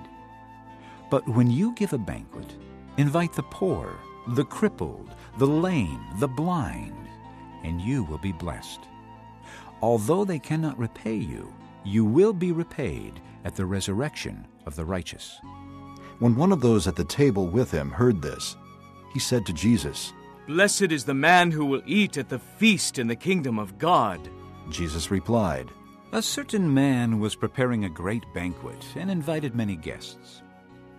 At the time of the banquet, he sent his servant to tell those who had been invited, Come, for everything is now ready. But they all alike began to make excuses. The first said, I have just bought a field and I must go and see it. Please excuse me. Another said, I have just bought five yoke of oxen and I'm on my way to try them out. Please excuse me. Still another said, I just got married, so I can't come. The servant came back and reported this to his master. Then the owner of the house became angry and ordered his servant, Go out quickly into the streets and alleys of the town and bring in the poor, the crippled, the blind, and the lame. Sir, the servant said, what you ordered has been done, but there is still room. Then the master told his servant, Go out to the roads and country lanes and make them come in, so that my house will be full. I tell you, not one of those men who were invited will get a taste of my banquet. Large crowds were traveling with Jesus, and turning to them, he said, If anyone comes to me and does not hate his father and mother, his wife and children, his brothers and sisters, yes, even his own life, he cannot be my disciple. And anyone who does not carry his cross and follow me cannot be my disciple. Suppose one of you wants to build a tower. Will he not first sit down and estimate the cost to see if he has enough money to complete it? For if he lays the foundation and is not able to finish it, everyone who sees it will ridicule him, saying, This fellow began to build and was not able to finish. Or suppose a king is about to go to war against another king. Will he not first sit down and consider whether he is able with 10,000 men to oppose the one coming against him with 20,000? If he is not able, he will send a delegation while the other is still a long way off and will ask for terms of peace. In the same way, any of you who does not give up everything he has cannot be my disciple. Salt is good, but if it loses its saltiness, how can it be made salty again? It is fit neither for the soil nor for the manure pile. It is thrown out. He who has ears to hear, let him hear. Chapter 15 Now the tax collectors and sinners were all gathering around to hear him. But the Pharisees and the teachers of the law muttered, This man welcomes sinners and eats with them. Then Jesus told them this parable Suppose one of you has a hundred sheep and loses one of them. Does he not leave the ninety nine in the open country and go after the lost sheep until he finds it? And when he finds it, he joyfully puts it on his shoulders and goes home. Then he calls his friends and neighbors together and says, Rejoice with me, I have found my lost sheep. I tell you that in the same way there will be more rejoicing in heaven over one sinner who repents than over 99 righteous persons who do not need to repent. Or suppose a woman has ten silver coins and loses one.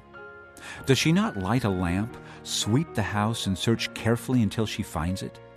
And when she finds it, she calls her friends and neighbors together and says, Rejoice with me, I have found my lost coin. In the same way, I tell you, there is rejoicing in the presence of the angels of God over one sinner who repents. Jesus continued, There was a man who had two sons. The younger one said to his father, Father, give me my share of the estate. So he divided his property between them.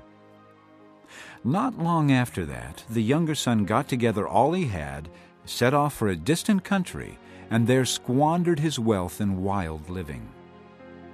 After he had spent everything, there was a severe famine in that whole country, and he began to be in need.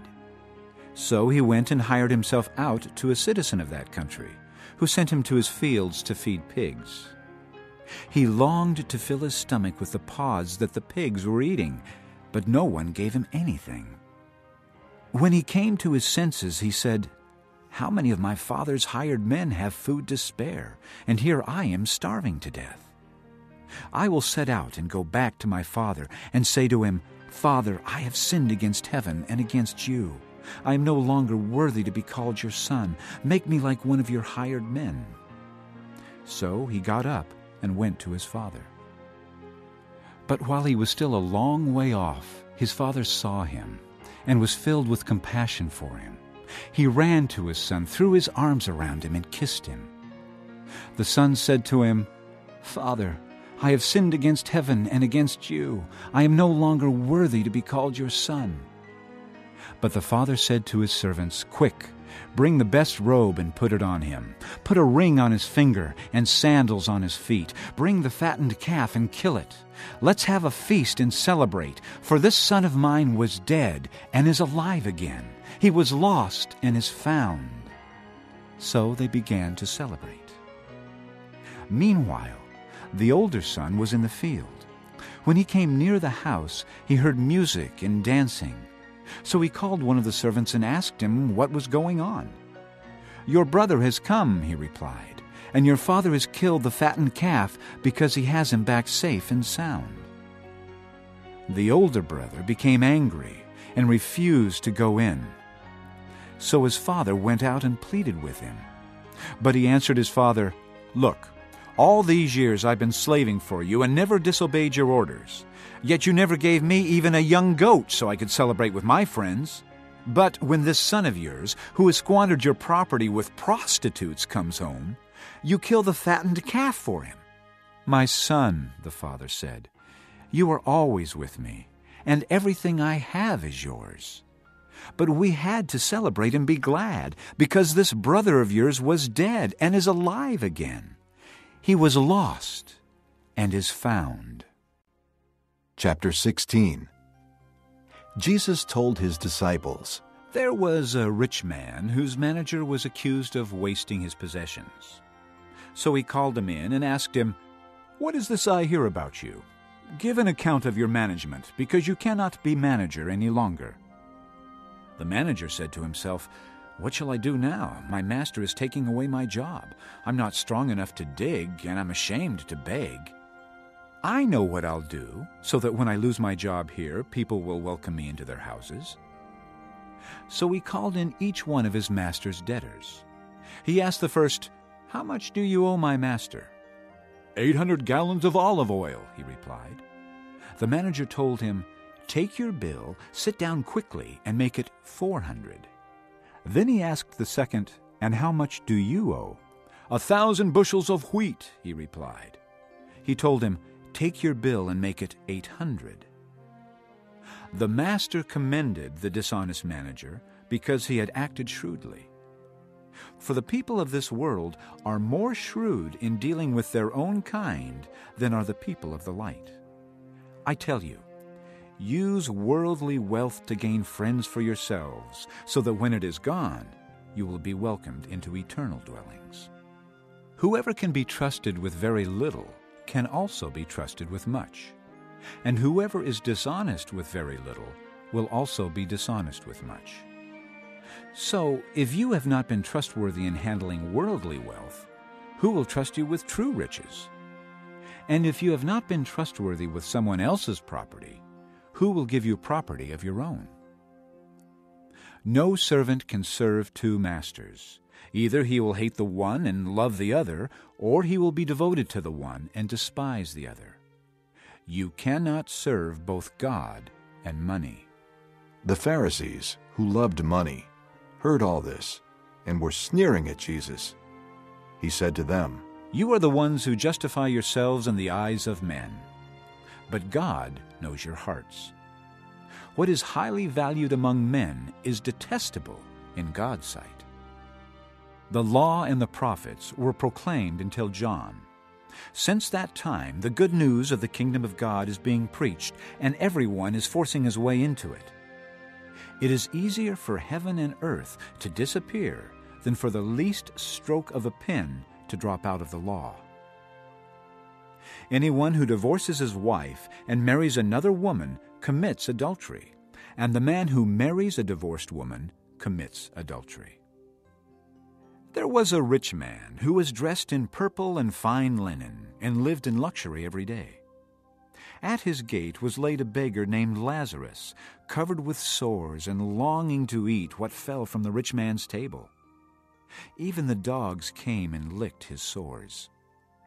The time came when the beggar died, and the angels carried him to Abraham's side. The rich man also died and was buried. In hell, where he was in torment, he looked up and saw Abraham far away, with Lazarus by his side. So he called to him, Father Abraham, have pity on me, and send Lazarus to dip the tip of his finger in water and cool my tongue, because I am in agony in this fire. But Abraham replied, Son, remember that in your lifetime you received your good things, while Lazarus received bad things. But now he is comforted here, and you are in agony. And besides all this, between us and you a great chasm has been fixed, so that those who want to go from here to you cannot, nor can anyone cross over from there to us.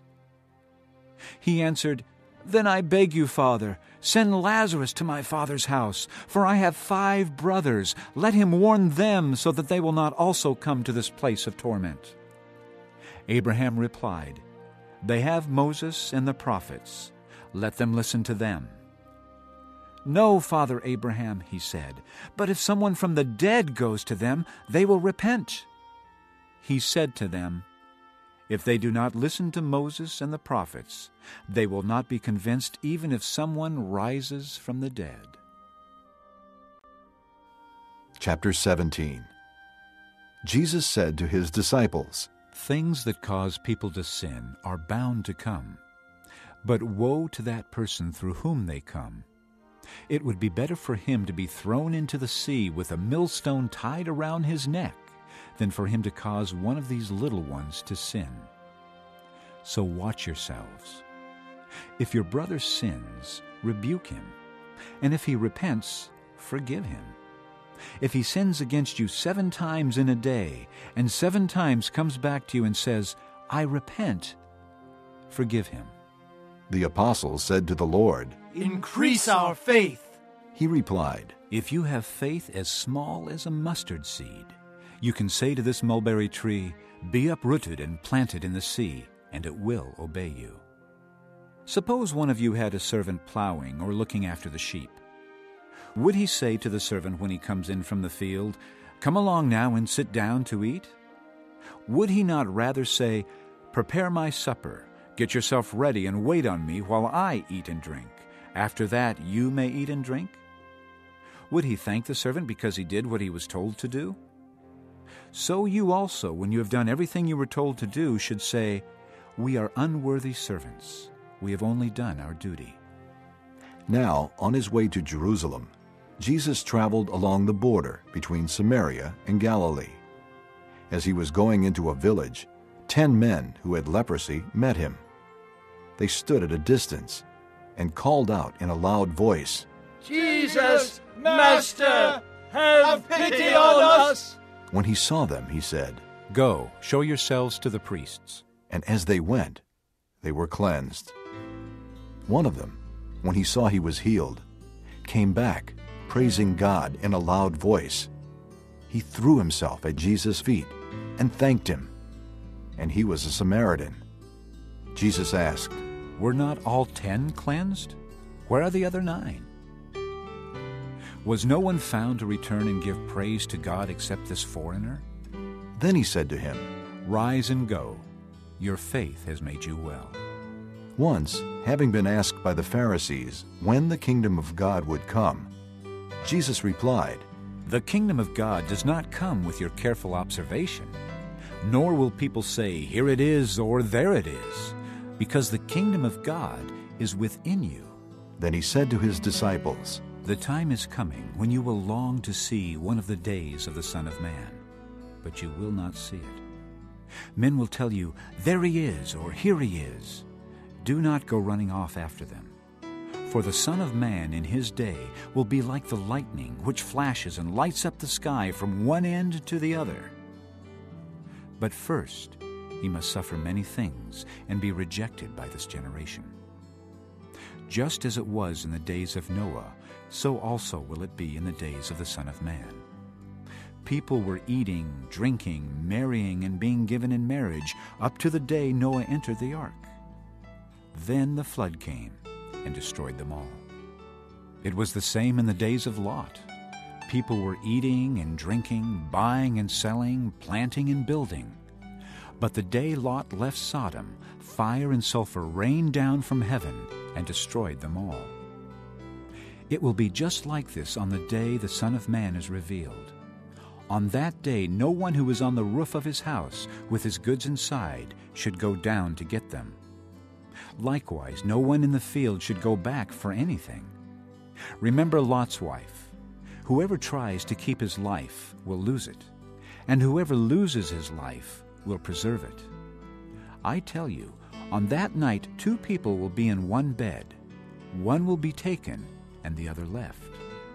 Two women will be grinding grain together. One will be taken, and the other left. Where, Lord? They asked. He replied, Where there is a dead body, there the vultures will gather. Chapter 18 Then Jesus told his disciples a parable to show them that they should always pray and not give up. He said, In a certain town there was a judge who neither feared God nor cared about men. And there was a widow in that town who kept coming to him with the plea, Grant me justice against my adversary. For some time he refused, but finally he said to himself, Even though I don't fear God or care about men, yet because this widow keeps bothering me, I will see that she gets justice, so that she won't eventually wear me out with her coming. And the Lord said, Listen to what the unjust judge says. And will not God bring about justice for his chosen ones, who cry out to him day and night? Will he keep putting them off? I tell you, he will see that they get justice, and quickly. However, when the Son of Man comes, will he find faith on the earth? To some who were confident of their own righteousness and looked down on everybody else, Jesus told this parable. Two men went up to the temple to pray, one a Pharisee and the other a tax collector. The Pharisee stood up and prayed about himself, God, I thank you that I am not like other men, robbers, evildoers, adulterers, or even like this tax collector. I fast twice a week and give a tenth of all I get. But the tax collector stood at a distance. He would not even look up to heaven, but beat his breast and said, God, have mercy on me, a sinner. I tell you that this man, rather than the other, went home justified before God. For everyone who exalts himself will be humbled, and he who humbles himself will be exalted. People were also bringing babies to Jesus to have him touch them. When the disciples saw this, they rebuked them. But Jesus called the children to him and said, Let the little children come to me, and do not hinder them, for the kingdom of God belongs to such as these. I tell you the truth. Anyone who will not receive the kingdom of God like a little child will never enter it. A certain ruler asked him, Good teacher, what must I do to inherit eternal life? Why do you call me good? Jesus answered, No one is good except God alone. You know the commandments do not commit adultery, do not murder, do not steal, do not give false testimony, honor your father and mother. All these I have kept since I was a boy, he said. When Jesus heard this, he said to him, You still lack one thing. Sell everything you have and give to the poor, and you will have treasure in heaven. Then come, follow me. When he heard this, he became very sad, because he was a man of great wealth. Jesus looked at him and said, How hard it is for the rich to enter the kingdom of God.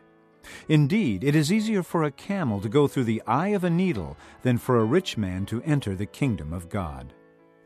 Those who heard this asked, Who then can be saved? Jesus replied, What is impossible with men is possible with God. Peter said to him, We have left all we had to follow you. I tell you the truth, Jesus said to them, No one who has left home or wife or brothers or parents or children for the sake of the kingdom of God will fail to receive many times as much in this age and in the age to come eternal life. Jesus took the twelve aside and told them, We are going up to Jerusalem, and everything that is written by the prophets about the Son of Man will be fulfilled. He will be handed over to the Gentiles. They will mock him, insult him, spit on him, flog him, and kill him. On the third day he will rise again. The disciples did not understand any of this. Its meaning was hidden from them, and they did not know what he was talking about. As Jesus approached Jericho, a blind man was sitting by the roadside begging. When he heard the crowd going by, he asked what was happening. They told him. Jesus of Nazareth is passing by. He called out, Jesus, son of David, have mercy on me. Those who led the way rebuked him and told him to be quiet. But he shouted all the more, Son of David, have mercy on me. Jesus stopped and ordered the man to be brought to him. When he came near, Jesus asked him, What do you want me to do for you? Lord, I want to see. He replied. Jesus said to him, Receive your sight. Your faith has healed you. Immediately, he received his sight and followed Jesus, praising God. When all the people saw it, they also praised God. Chapter 19 Jesus entered Jericho and was passing through. A man was there by the name of Zacchaeus. He was a chief tax collector and was wealthy. He wanted to see who Jesus was, but being a short man, he could not because of the crowd. So he ran ahead and climbed a sycamore fig tree to see him, since Jesus was coming that way. When Jesus reached the spot, he looked up and said to him, Zacchaeus, come down immediately. I must stay at your house today. So he came down at once and welcomed him gladly. All the people saw this and began to mutter, He has gone to be the guest of a sinner. But Zacchaeus stood up and said to the Lord, Look, Lord, here and now I give half of my possessions to the poor. And if I have cheated anybody out of anything, I will pay back four times the amount. Jesus said to him, Today salvation has come to this house, because this man too is a son of Abraham. For the Son of Man came to seek and to save what was lost. While they were listening to this, he went on to tell them a parable, because he was near Jerusalem, and the people thought that the kingdom of God was going to appear at once. He said, A man of noble birth went to a distant country to have himself appointed king and then to return. So he called ten of his servants and gave them ten minas. Put this money to work, he said, until I come back. But his subjects hated him and sent a delegation after him to say, We don't want this man to be our king. He was made king, however, and returned home. Then he sent for the servants to whom he had given the money, in order to find out what they had gained with it. The first one came and said, Sir, your mina has earned ten more. Well done, my good servant, his master replied. Because you have been trustworthy in a very small matter, take charge of ten cities. The second came and said, Sir, your mina has earned five more. His master answered, You take charge of five cities. Then another servant came and said, Sir, here is your mina. I have kept it laid away in a piece of cloth. I was afraid of you, because you are a hard man. You take out what you did not put in and reap what you did not sow. His master replied, I will judge you by your own words, you wicked servant. You knew, did you, that I am a hard man, taking out what I did not put in and reaping what I did not sow? Why, then, didn't you put my money on deposit, so that when I came back I could have collected it with interest? Then he said to those standing by, Take his mina away from him, and give it to the one who has ten minas. Sir, they said, he already has ten. He replied, I tell you that to everyone who has, more will be given. But as for the one who has nothing, even what he has will be taken away. But those enemies of mine who did not want me to be king over them, bring them here and kill them in front of me. After Jesus had said this, he went on ahead, going up to Jerusalem. As he approached Bethphage and Bethany at the hill called the Mount of Olives, he sent two of his disciples, saying to them, Go to the village ahead of you, and as you enter it, you will find a colt tied there, which no one has ever ridden. Untie it and bring it here. If anyone asks you, Why are you untying it? tell him, The Lord needs it. Those who were sent ahead went and found it just as he had told them. As they were untying the colt, its owners asked them, Why are you untying the colt? They replied, The Lord needs it. They brought it to Jesus, threw their cloaks on the colt, and put Jesus on it. As he went along, people spread their cloaks on the road.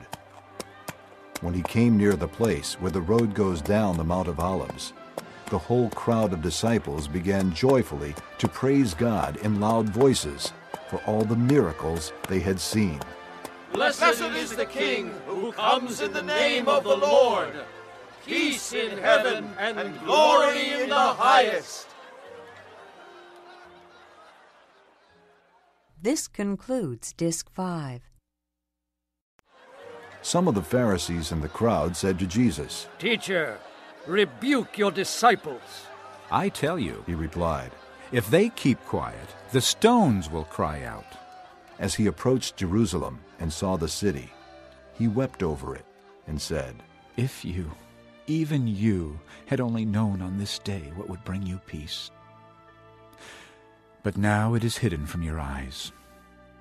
The days will come upon you when your enemies will build an embankment against you and encircle you and hem you in on every side. They will dash you to the ground, you and the children within your walls. They will not leave one stone on another, because you did not recognize the time of God's coming to you. Then he entered the temple area and began driving out those who were selling. It is written, he said to them, My house will be a house of prayer, but you have made it a den of robbers. Every day he was teaching at the temple, but the chief priests, the teachers of the law, and the leaders among the people were trying to kill him. Yet they could not find any way to do it, because all the people hung on his words. Chapter 20 One day, as he was teaching the people in the temple courts and preaching the gospel, the chief priests and the teachers of the law, together with the elders, came up to him. Tell us by what authority you are doing these things. They said, Who gave you this authority? He replied, I will also ask you a question. Tell me, John's baptism, was it from heaven or from men? They discussed it among themselves and said, If we say from heaven, he will ask, Why didn't you believe him? But if we say from men, all the people will stone us, because they are persuaded that John was a prophet. So they answered, We don't know where it was from. Jesus said, Neither will I tell you by what authority I am doing these things. He went on to tell the people this parable A man planted a vineyard, rented it to some farmers, and went away for a long time. At harvest time, he sent a servant to the tenants so they would give him some of the fruit of the vineyard. But the tenants beat him and sent him away empty handed. He sent another servant. But that one also they beat and treated shamefully and sent away empty handed. He sent still a third, and they wounded him and threw him out. Then the owner of the vineyard said, What shall I do? I will send my son, whom I love. Perhaps they will respect him. But when the tenants saw him, they talked the matter over. This is the heir, they said. Let's kill him, and the inheritance will be ours. So they threw him out of the vineyard and killed him. What then will the owner of the vineyard do to them? He will come and kill those tenants and give the vineyard to others. When the people heard this, they said, May this never be. Jesus looked directly at them and asked, Then what is the meaning of that which is written, The stone the builders rejected has become the capstone? Everyone who falls on that stone will be broken to pieces, but he on whom it falls will be crushed. The teachers of the law and the chief priests looked for a way to arrest him immediately, because they knew he had spoken this parable against them. But they were afraid of the people. Keeping a close watch on him, they sent spies who pretended to be honest. They hoped to catch Jesus in something he said, so that they might hand him over to the power and authority of the governor. So the spies questioned him. Teacher, we know that you speak and teach what is right, and that you do not show partiality, but teach the way of God in accordance with the truth. Is it right for us to pay taxes to Caesar or not? He saw through their duplicity and said to them, Show me a denarius. Whose portrait and inscription are on it? Caesar's. They replied. He said to them, Then give to Caesar what is Caesar's, and to God what is God's. They were unable to trap him in what he had said there in public. And astonished by his answer, they became silent. Some of the Sadducees, who say there is no resurrection, came to Jesus with a question. Teacher, they said, Moses wrote for us that if a man's brother dies and leaves a wife but no children, the man must marry the widow and have children for his brother. Now, there were seven brothers. The first one married a woman and died childless. The second, and then the third, married her. And in the same way, the seven died, leaving no children. Finally, the woman died too. Now then, at the resurrection, whose wife will she be, since the seven were married to her? Jesus replied, The people of this age marry and are given in marriage. But those who are considered worthy of taking part in that age and in the resurrection from the dead will neither marry nor be given in marriage. And they can no longer die, for they are like the angels. They are God's children, since they are children of the resurrection. But in the account of the bush, even Moses showed that the dead rise, for he calls the Lord the God of Abraham, and the God of Isaac, and the God of Jacob. He is not the God of the dead, but of the living, for to him all are alive. Some of the teachers of the law responded, Well said, teacher. And no one dared to ask him any more questions. Then Jesus said to them, How is it that they say the Christ is the son of David? David himself declares in the book of Psalms, The Lord said to my Lord, Sit at my right hand until I make your enemies a footstool for your feet. David calls him Lord. How then can he be his son? While all the people were listening, Jesus said to his disciples, Beware of the teachers of the law. They like to walk around in flowing robes and love to be greeted in the marketplaces and have the most important seats in the synagogues and the places of honor at banquets. They devour widows' houses and for a show make lengthy prayers. Such men will be punished most severely. Chapter 21 As he looked up, Jesus saw the rich putting their gifts into the temple treasury. He also saw a poor widow put in two very small copper coins. I tell you the truth, he said. This poor widow has put in more than all the others. All these people gave their gifts out of their wealth, but she, out of her poverty, put in all she had to live on. Some of his disciples were remarking about how the temple was adorned with beautiful stones and with gifts dedicated to God. But Jesus said, As for what you see here, the time will come when not one stone will be left on another. Every one of them will be thrown down. Teacher, they asked, when will these things happen, and what will be the sign that they are about to take place? He replied, Watch out that you are not deceived. For many will come in my name, claiming, I am he, and the time is near. Do not follow them. When you hear of wars and revolutions, do not be frightened. These things must happen first, but the end will not come right away. Then he said to them, Nation will rise against nation, and kingdom against kingdom. There will be great earthquakes, famines, and pestilences in various places, and fearful events and great signs from heaven. But before all this, they will lay hands on you and persecute you. They will deliver you to synagogues and prisons, and you will be brought before kings and governors, and all on account of my name. This will result in your being witnesses to them. But make up your mind not to worry beforehand how you will defend yourselves. For I will give you words and wisdom that none of your adversaries will be able to resist or contradict. You will be betrayed even by parents, brothers, relatives, and friends, and they will put some of you to death. All men will hate you because of me, but not a hair of your head will perish. By standing firm, you will gain life. When you see Jerusalem being surrounded by armies, you will know that its desolation is near. Then let those who are in Judea flee to the mountains. Let those in the city get out, and let those in the country not enter the city. For this is the time of punishment, in fulfillment of all that has been written. How dreadful it will be in those days for pregnant women and nursing mothers there will be great distress in the land and wrath against this people.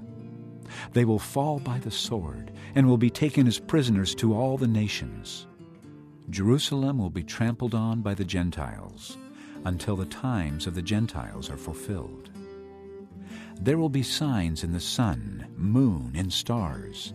On the earth, nations will be in anguish and perplexity at the roaring and tossing of the sea. Men will faint from terror, apprehensive of what is coming on the world, for the heavenly bodies will be shaken. At that time they will see the Son of Man coming in a cloud with power and great glory. When these things begin to take place, stand up and lift up your heads, because your redemption is drawing near. He told them this parable Look at the fig tree and all the trees. When they sprout leaves, you can see for yourselves and know that summer is near. Even so, when you see these things happening, you know that the kingdom of God is near. I tell you the truth. This generation will certainly not pass away until all these things have happened. Heaven and earth will pass away, but my words will never pass away. Be careful or your hearts will be weighed down with dissipation, drunkenness, and the anxieties of life, and that day will close on you unexpectedly like a trap. For it will come upon all those who live on the face of the whole earth. Be always on the watch, and pray that you may be able to escape all that is about to happen, and that you may be able to stand before the Son of Man. Each day, Jesus was teaching at the temple, and each evening he went out to spend the night on the hill called the Mount of Olives. and all the people came early in the morning to hear him at the temple.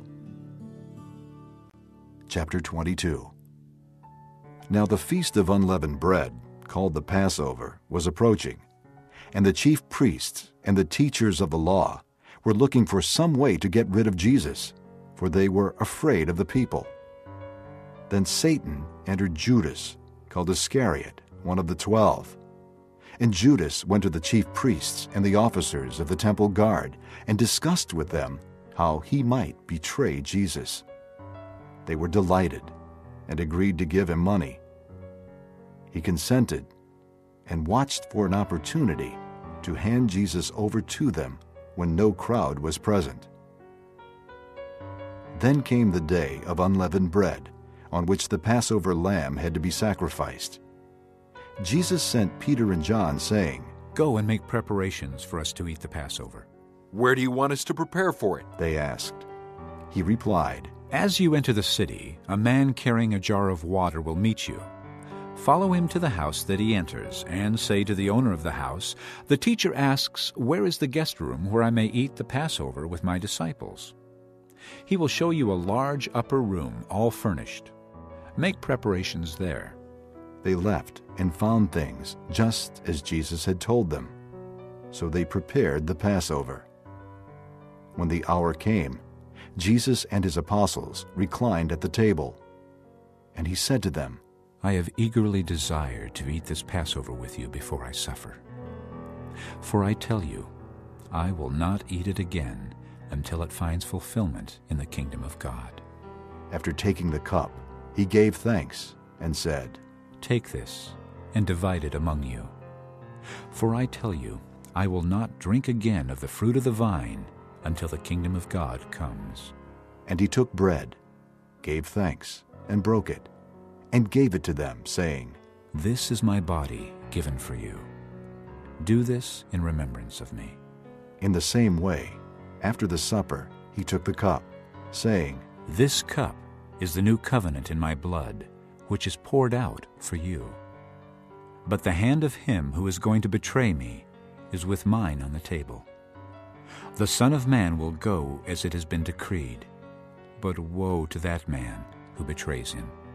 They began to question among themselves which of them it might be who would do this.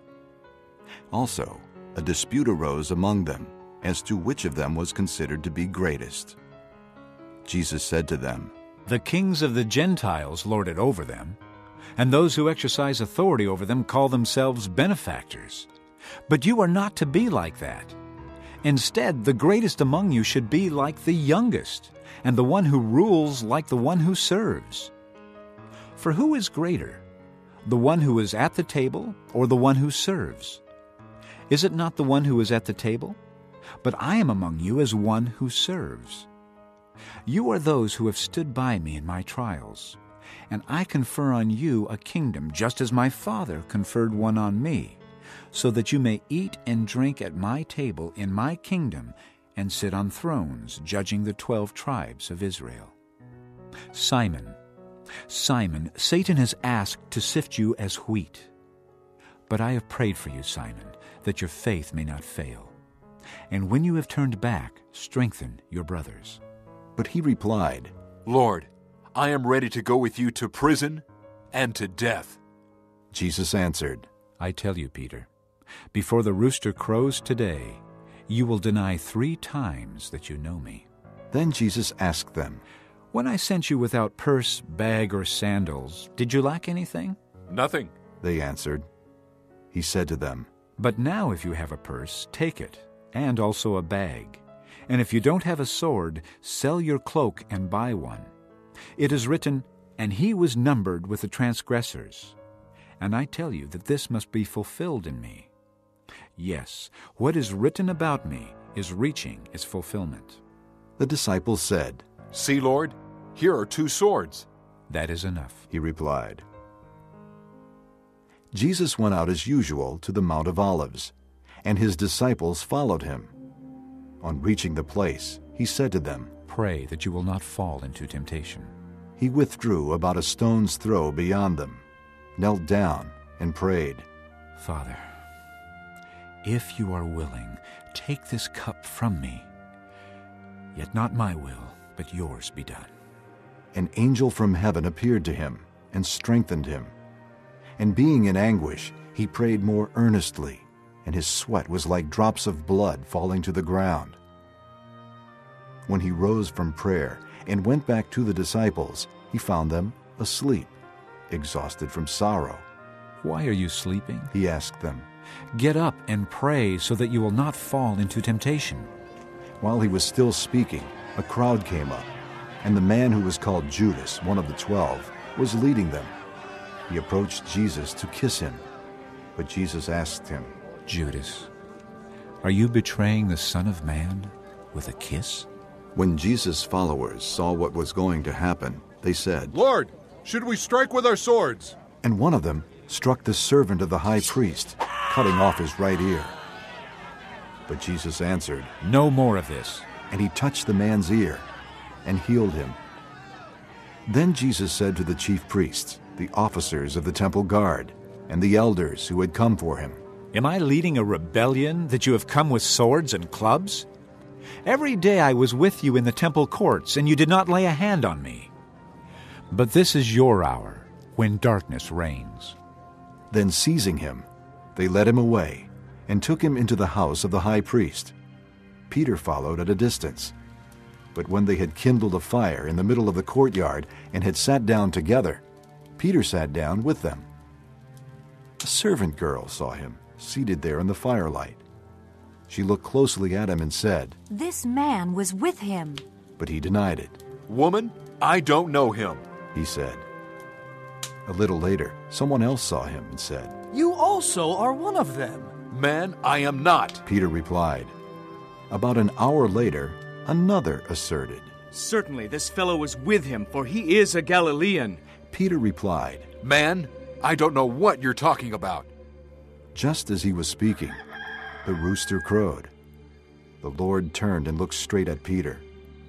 Then Peter remembered the word the Lord had spoken to him. Before the rooster crows today, you will disown me three times. And he went outside and wept bitterly.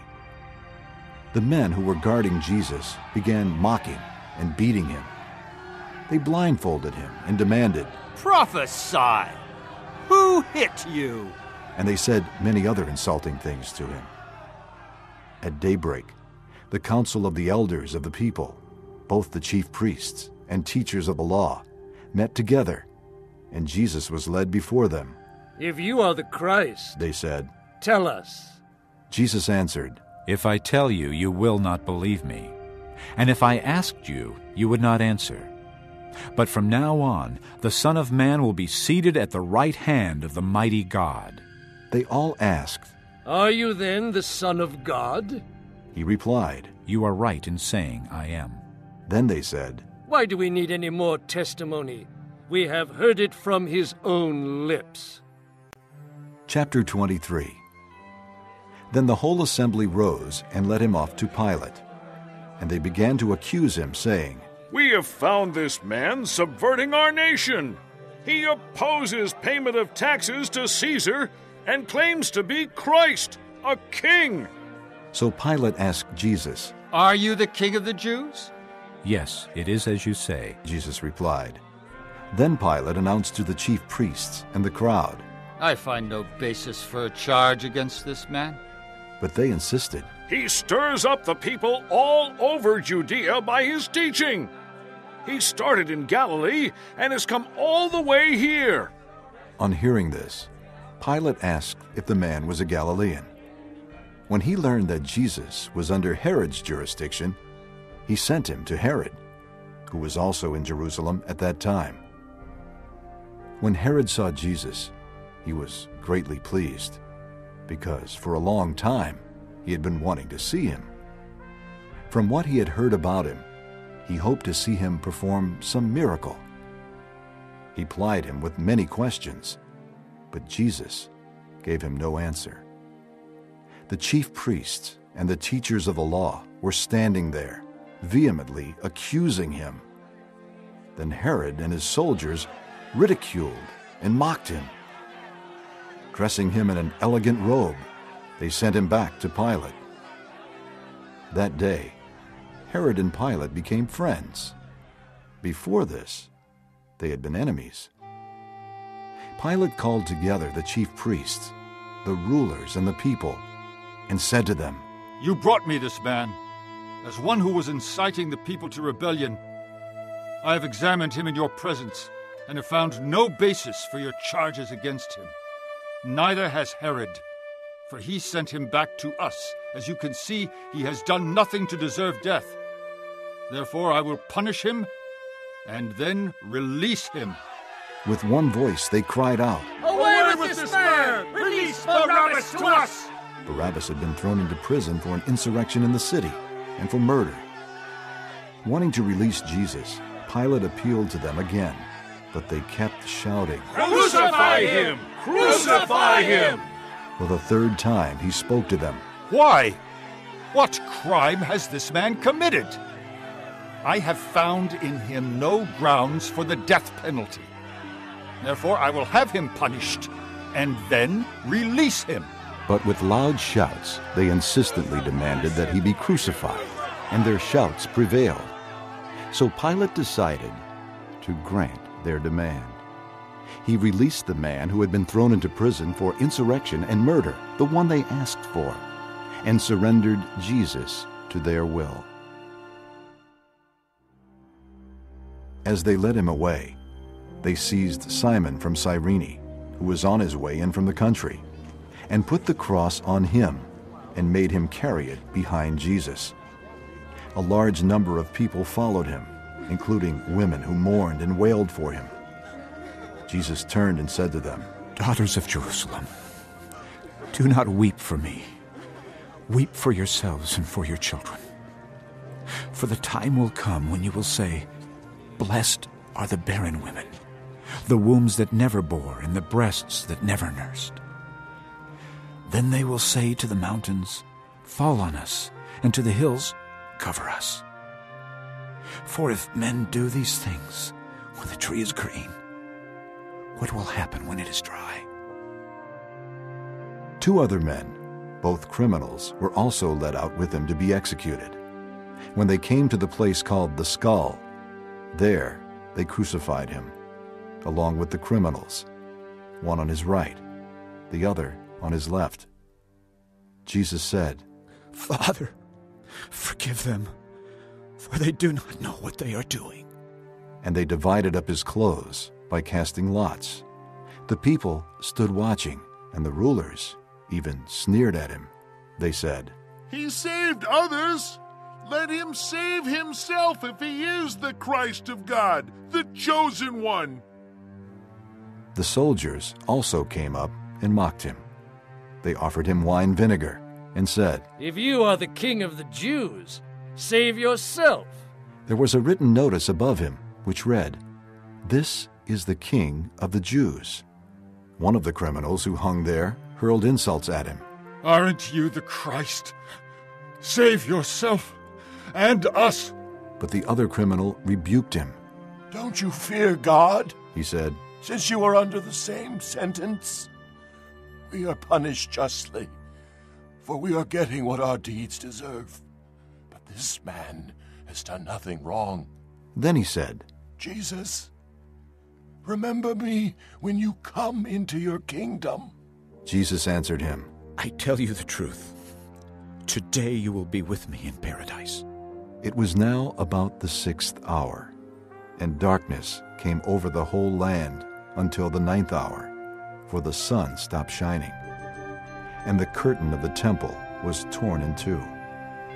Jesus called out with a loud voice, Father, into your hands I commit my spirit. When he had said this, he breathed his last. The centurion, seeing what had happened, praised God and said, Surely this was a righteous man. When all the people who had gathered to witness this sight saw what took place, they beat their breasts and went away. But all those who knew him, including the women who had followed him from Galilee, stood at a distance, watching these things. Now there was a man named Joseph, a member of the council, a good and upright man, who had not consented to their decision and action. He came from the Judean town of Arimathea, and he was waiting for the kingdom of God. Going to Pilate, he asked for Jesus' body. Then he took it down, wrapped it in linen cloth, and placed it in a tomb cut in the rock, one in which no one had yet been laid. It was preparation day, and the Sabbath was about to begin. The women who had come with Jesus from Galilee followed Joseph and saw the tomb and how his body was laid in it. Then they went home and prepared spices and perfumes. But they rested on the Sabbath in obedience to the commandment. Chapter 24 On the first day of the week, very early in the morning, the women took the spices they had prepared and went to the tomb. They found the stone rolled away from the tomb, but when they entered, they did not find the body of the Lord Jesus. While they were wondering about this, suddenly two men in clothes that gleamed like lightning stood beside them. In their fright, the women bowed down with their faces to the ground. But the men said to them, Why do you look for the living among the dead? He is not here. He has risen. Remember how he told you, while he was still with you in Galilee, the Son of Man must be delivered into the hands of sinful men, be crucified, and on the third day be raised again. Then they remembered his words. When they came back from the tomb, they told all these things to the eleven and to all the others. It was Mary Magdalene, Joanna, Mary the mother of James, and the others with them who told this to the apostles. But they did not believe the women, because their words seemed to them like nonsense. Peter, however, got up and ran to the tomb. Bending over, he saw the strips of linen lying by themselves, and he went away, wondering to himself what had happened. Now that same day, two of them were going to a village called Emmaus, about seven miles from Jerusalem. They were talking with each other about everything that had happened. As they talked and discussed these things with each other, Jesus himself came up and walked along with them. But they were kept from recognizing him. He asked them, What are you discussing together as you walk along? They stood still, their faces downcast. One of them, named Cleopas, asked him, Are you only a visitor to Jerusalem and do not know the things that have happened there in these days? What things? He asked. About Jesus of Nazareth. They replied, He was a prophet, powerful in word and deed before God and all the people. The chief priests and our rulers handed him over to be sentenced to death, and they crucified him. But we had hoped that he was the one who was going to redeem Israel. And what is more, it is the third day since all this took place. In addition, some of our women amazed us. They went to the tomb early this morning, but didn't find his body. They came and told us that they had seen a vision of angels who said he was alive. Then some of our companions went to the tomb and found it just as the women had said, but him they did not see. He said to them, How foolish you are, and how slow of heart to believe all that the prophets have spoken. Did not the Christ have to suffer these things and then enter his glory? And beginning with Moses and all the prophets, he explained to them what was said in all the scriptures concerning himself. As they approached the village to which they were going, Jesus acted as if he were going farther. But they urged him strongly, Stay with us, for it is nearly evening. The day is almost over. So he went in to stay with them. When he was at the table with them, he took bread, gave thanks, broke it, and began to give it to them. Then their eyes were opened, and they recognized him.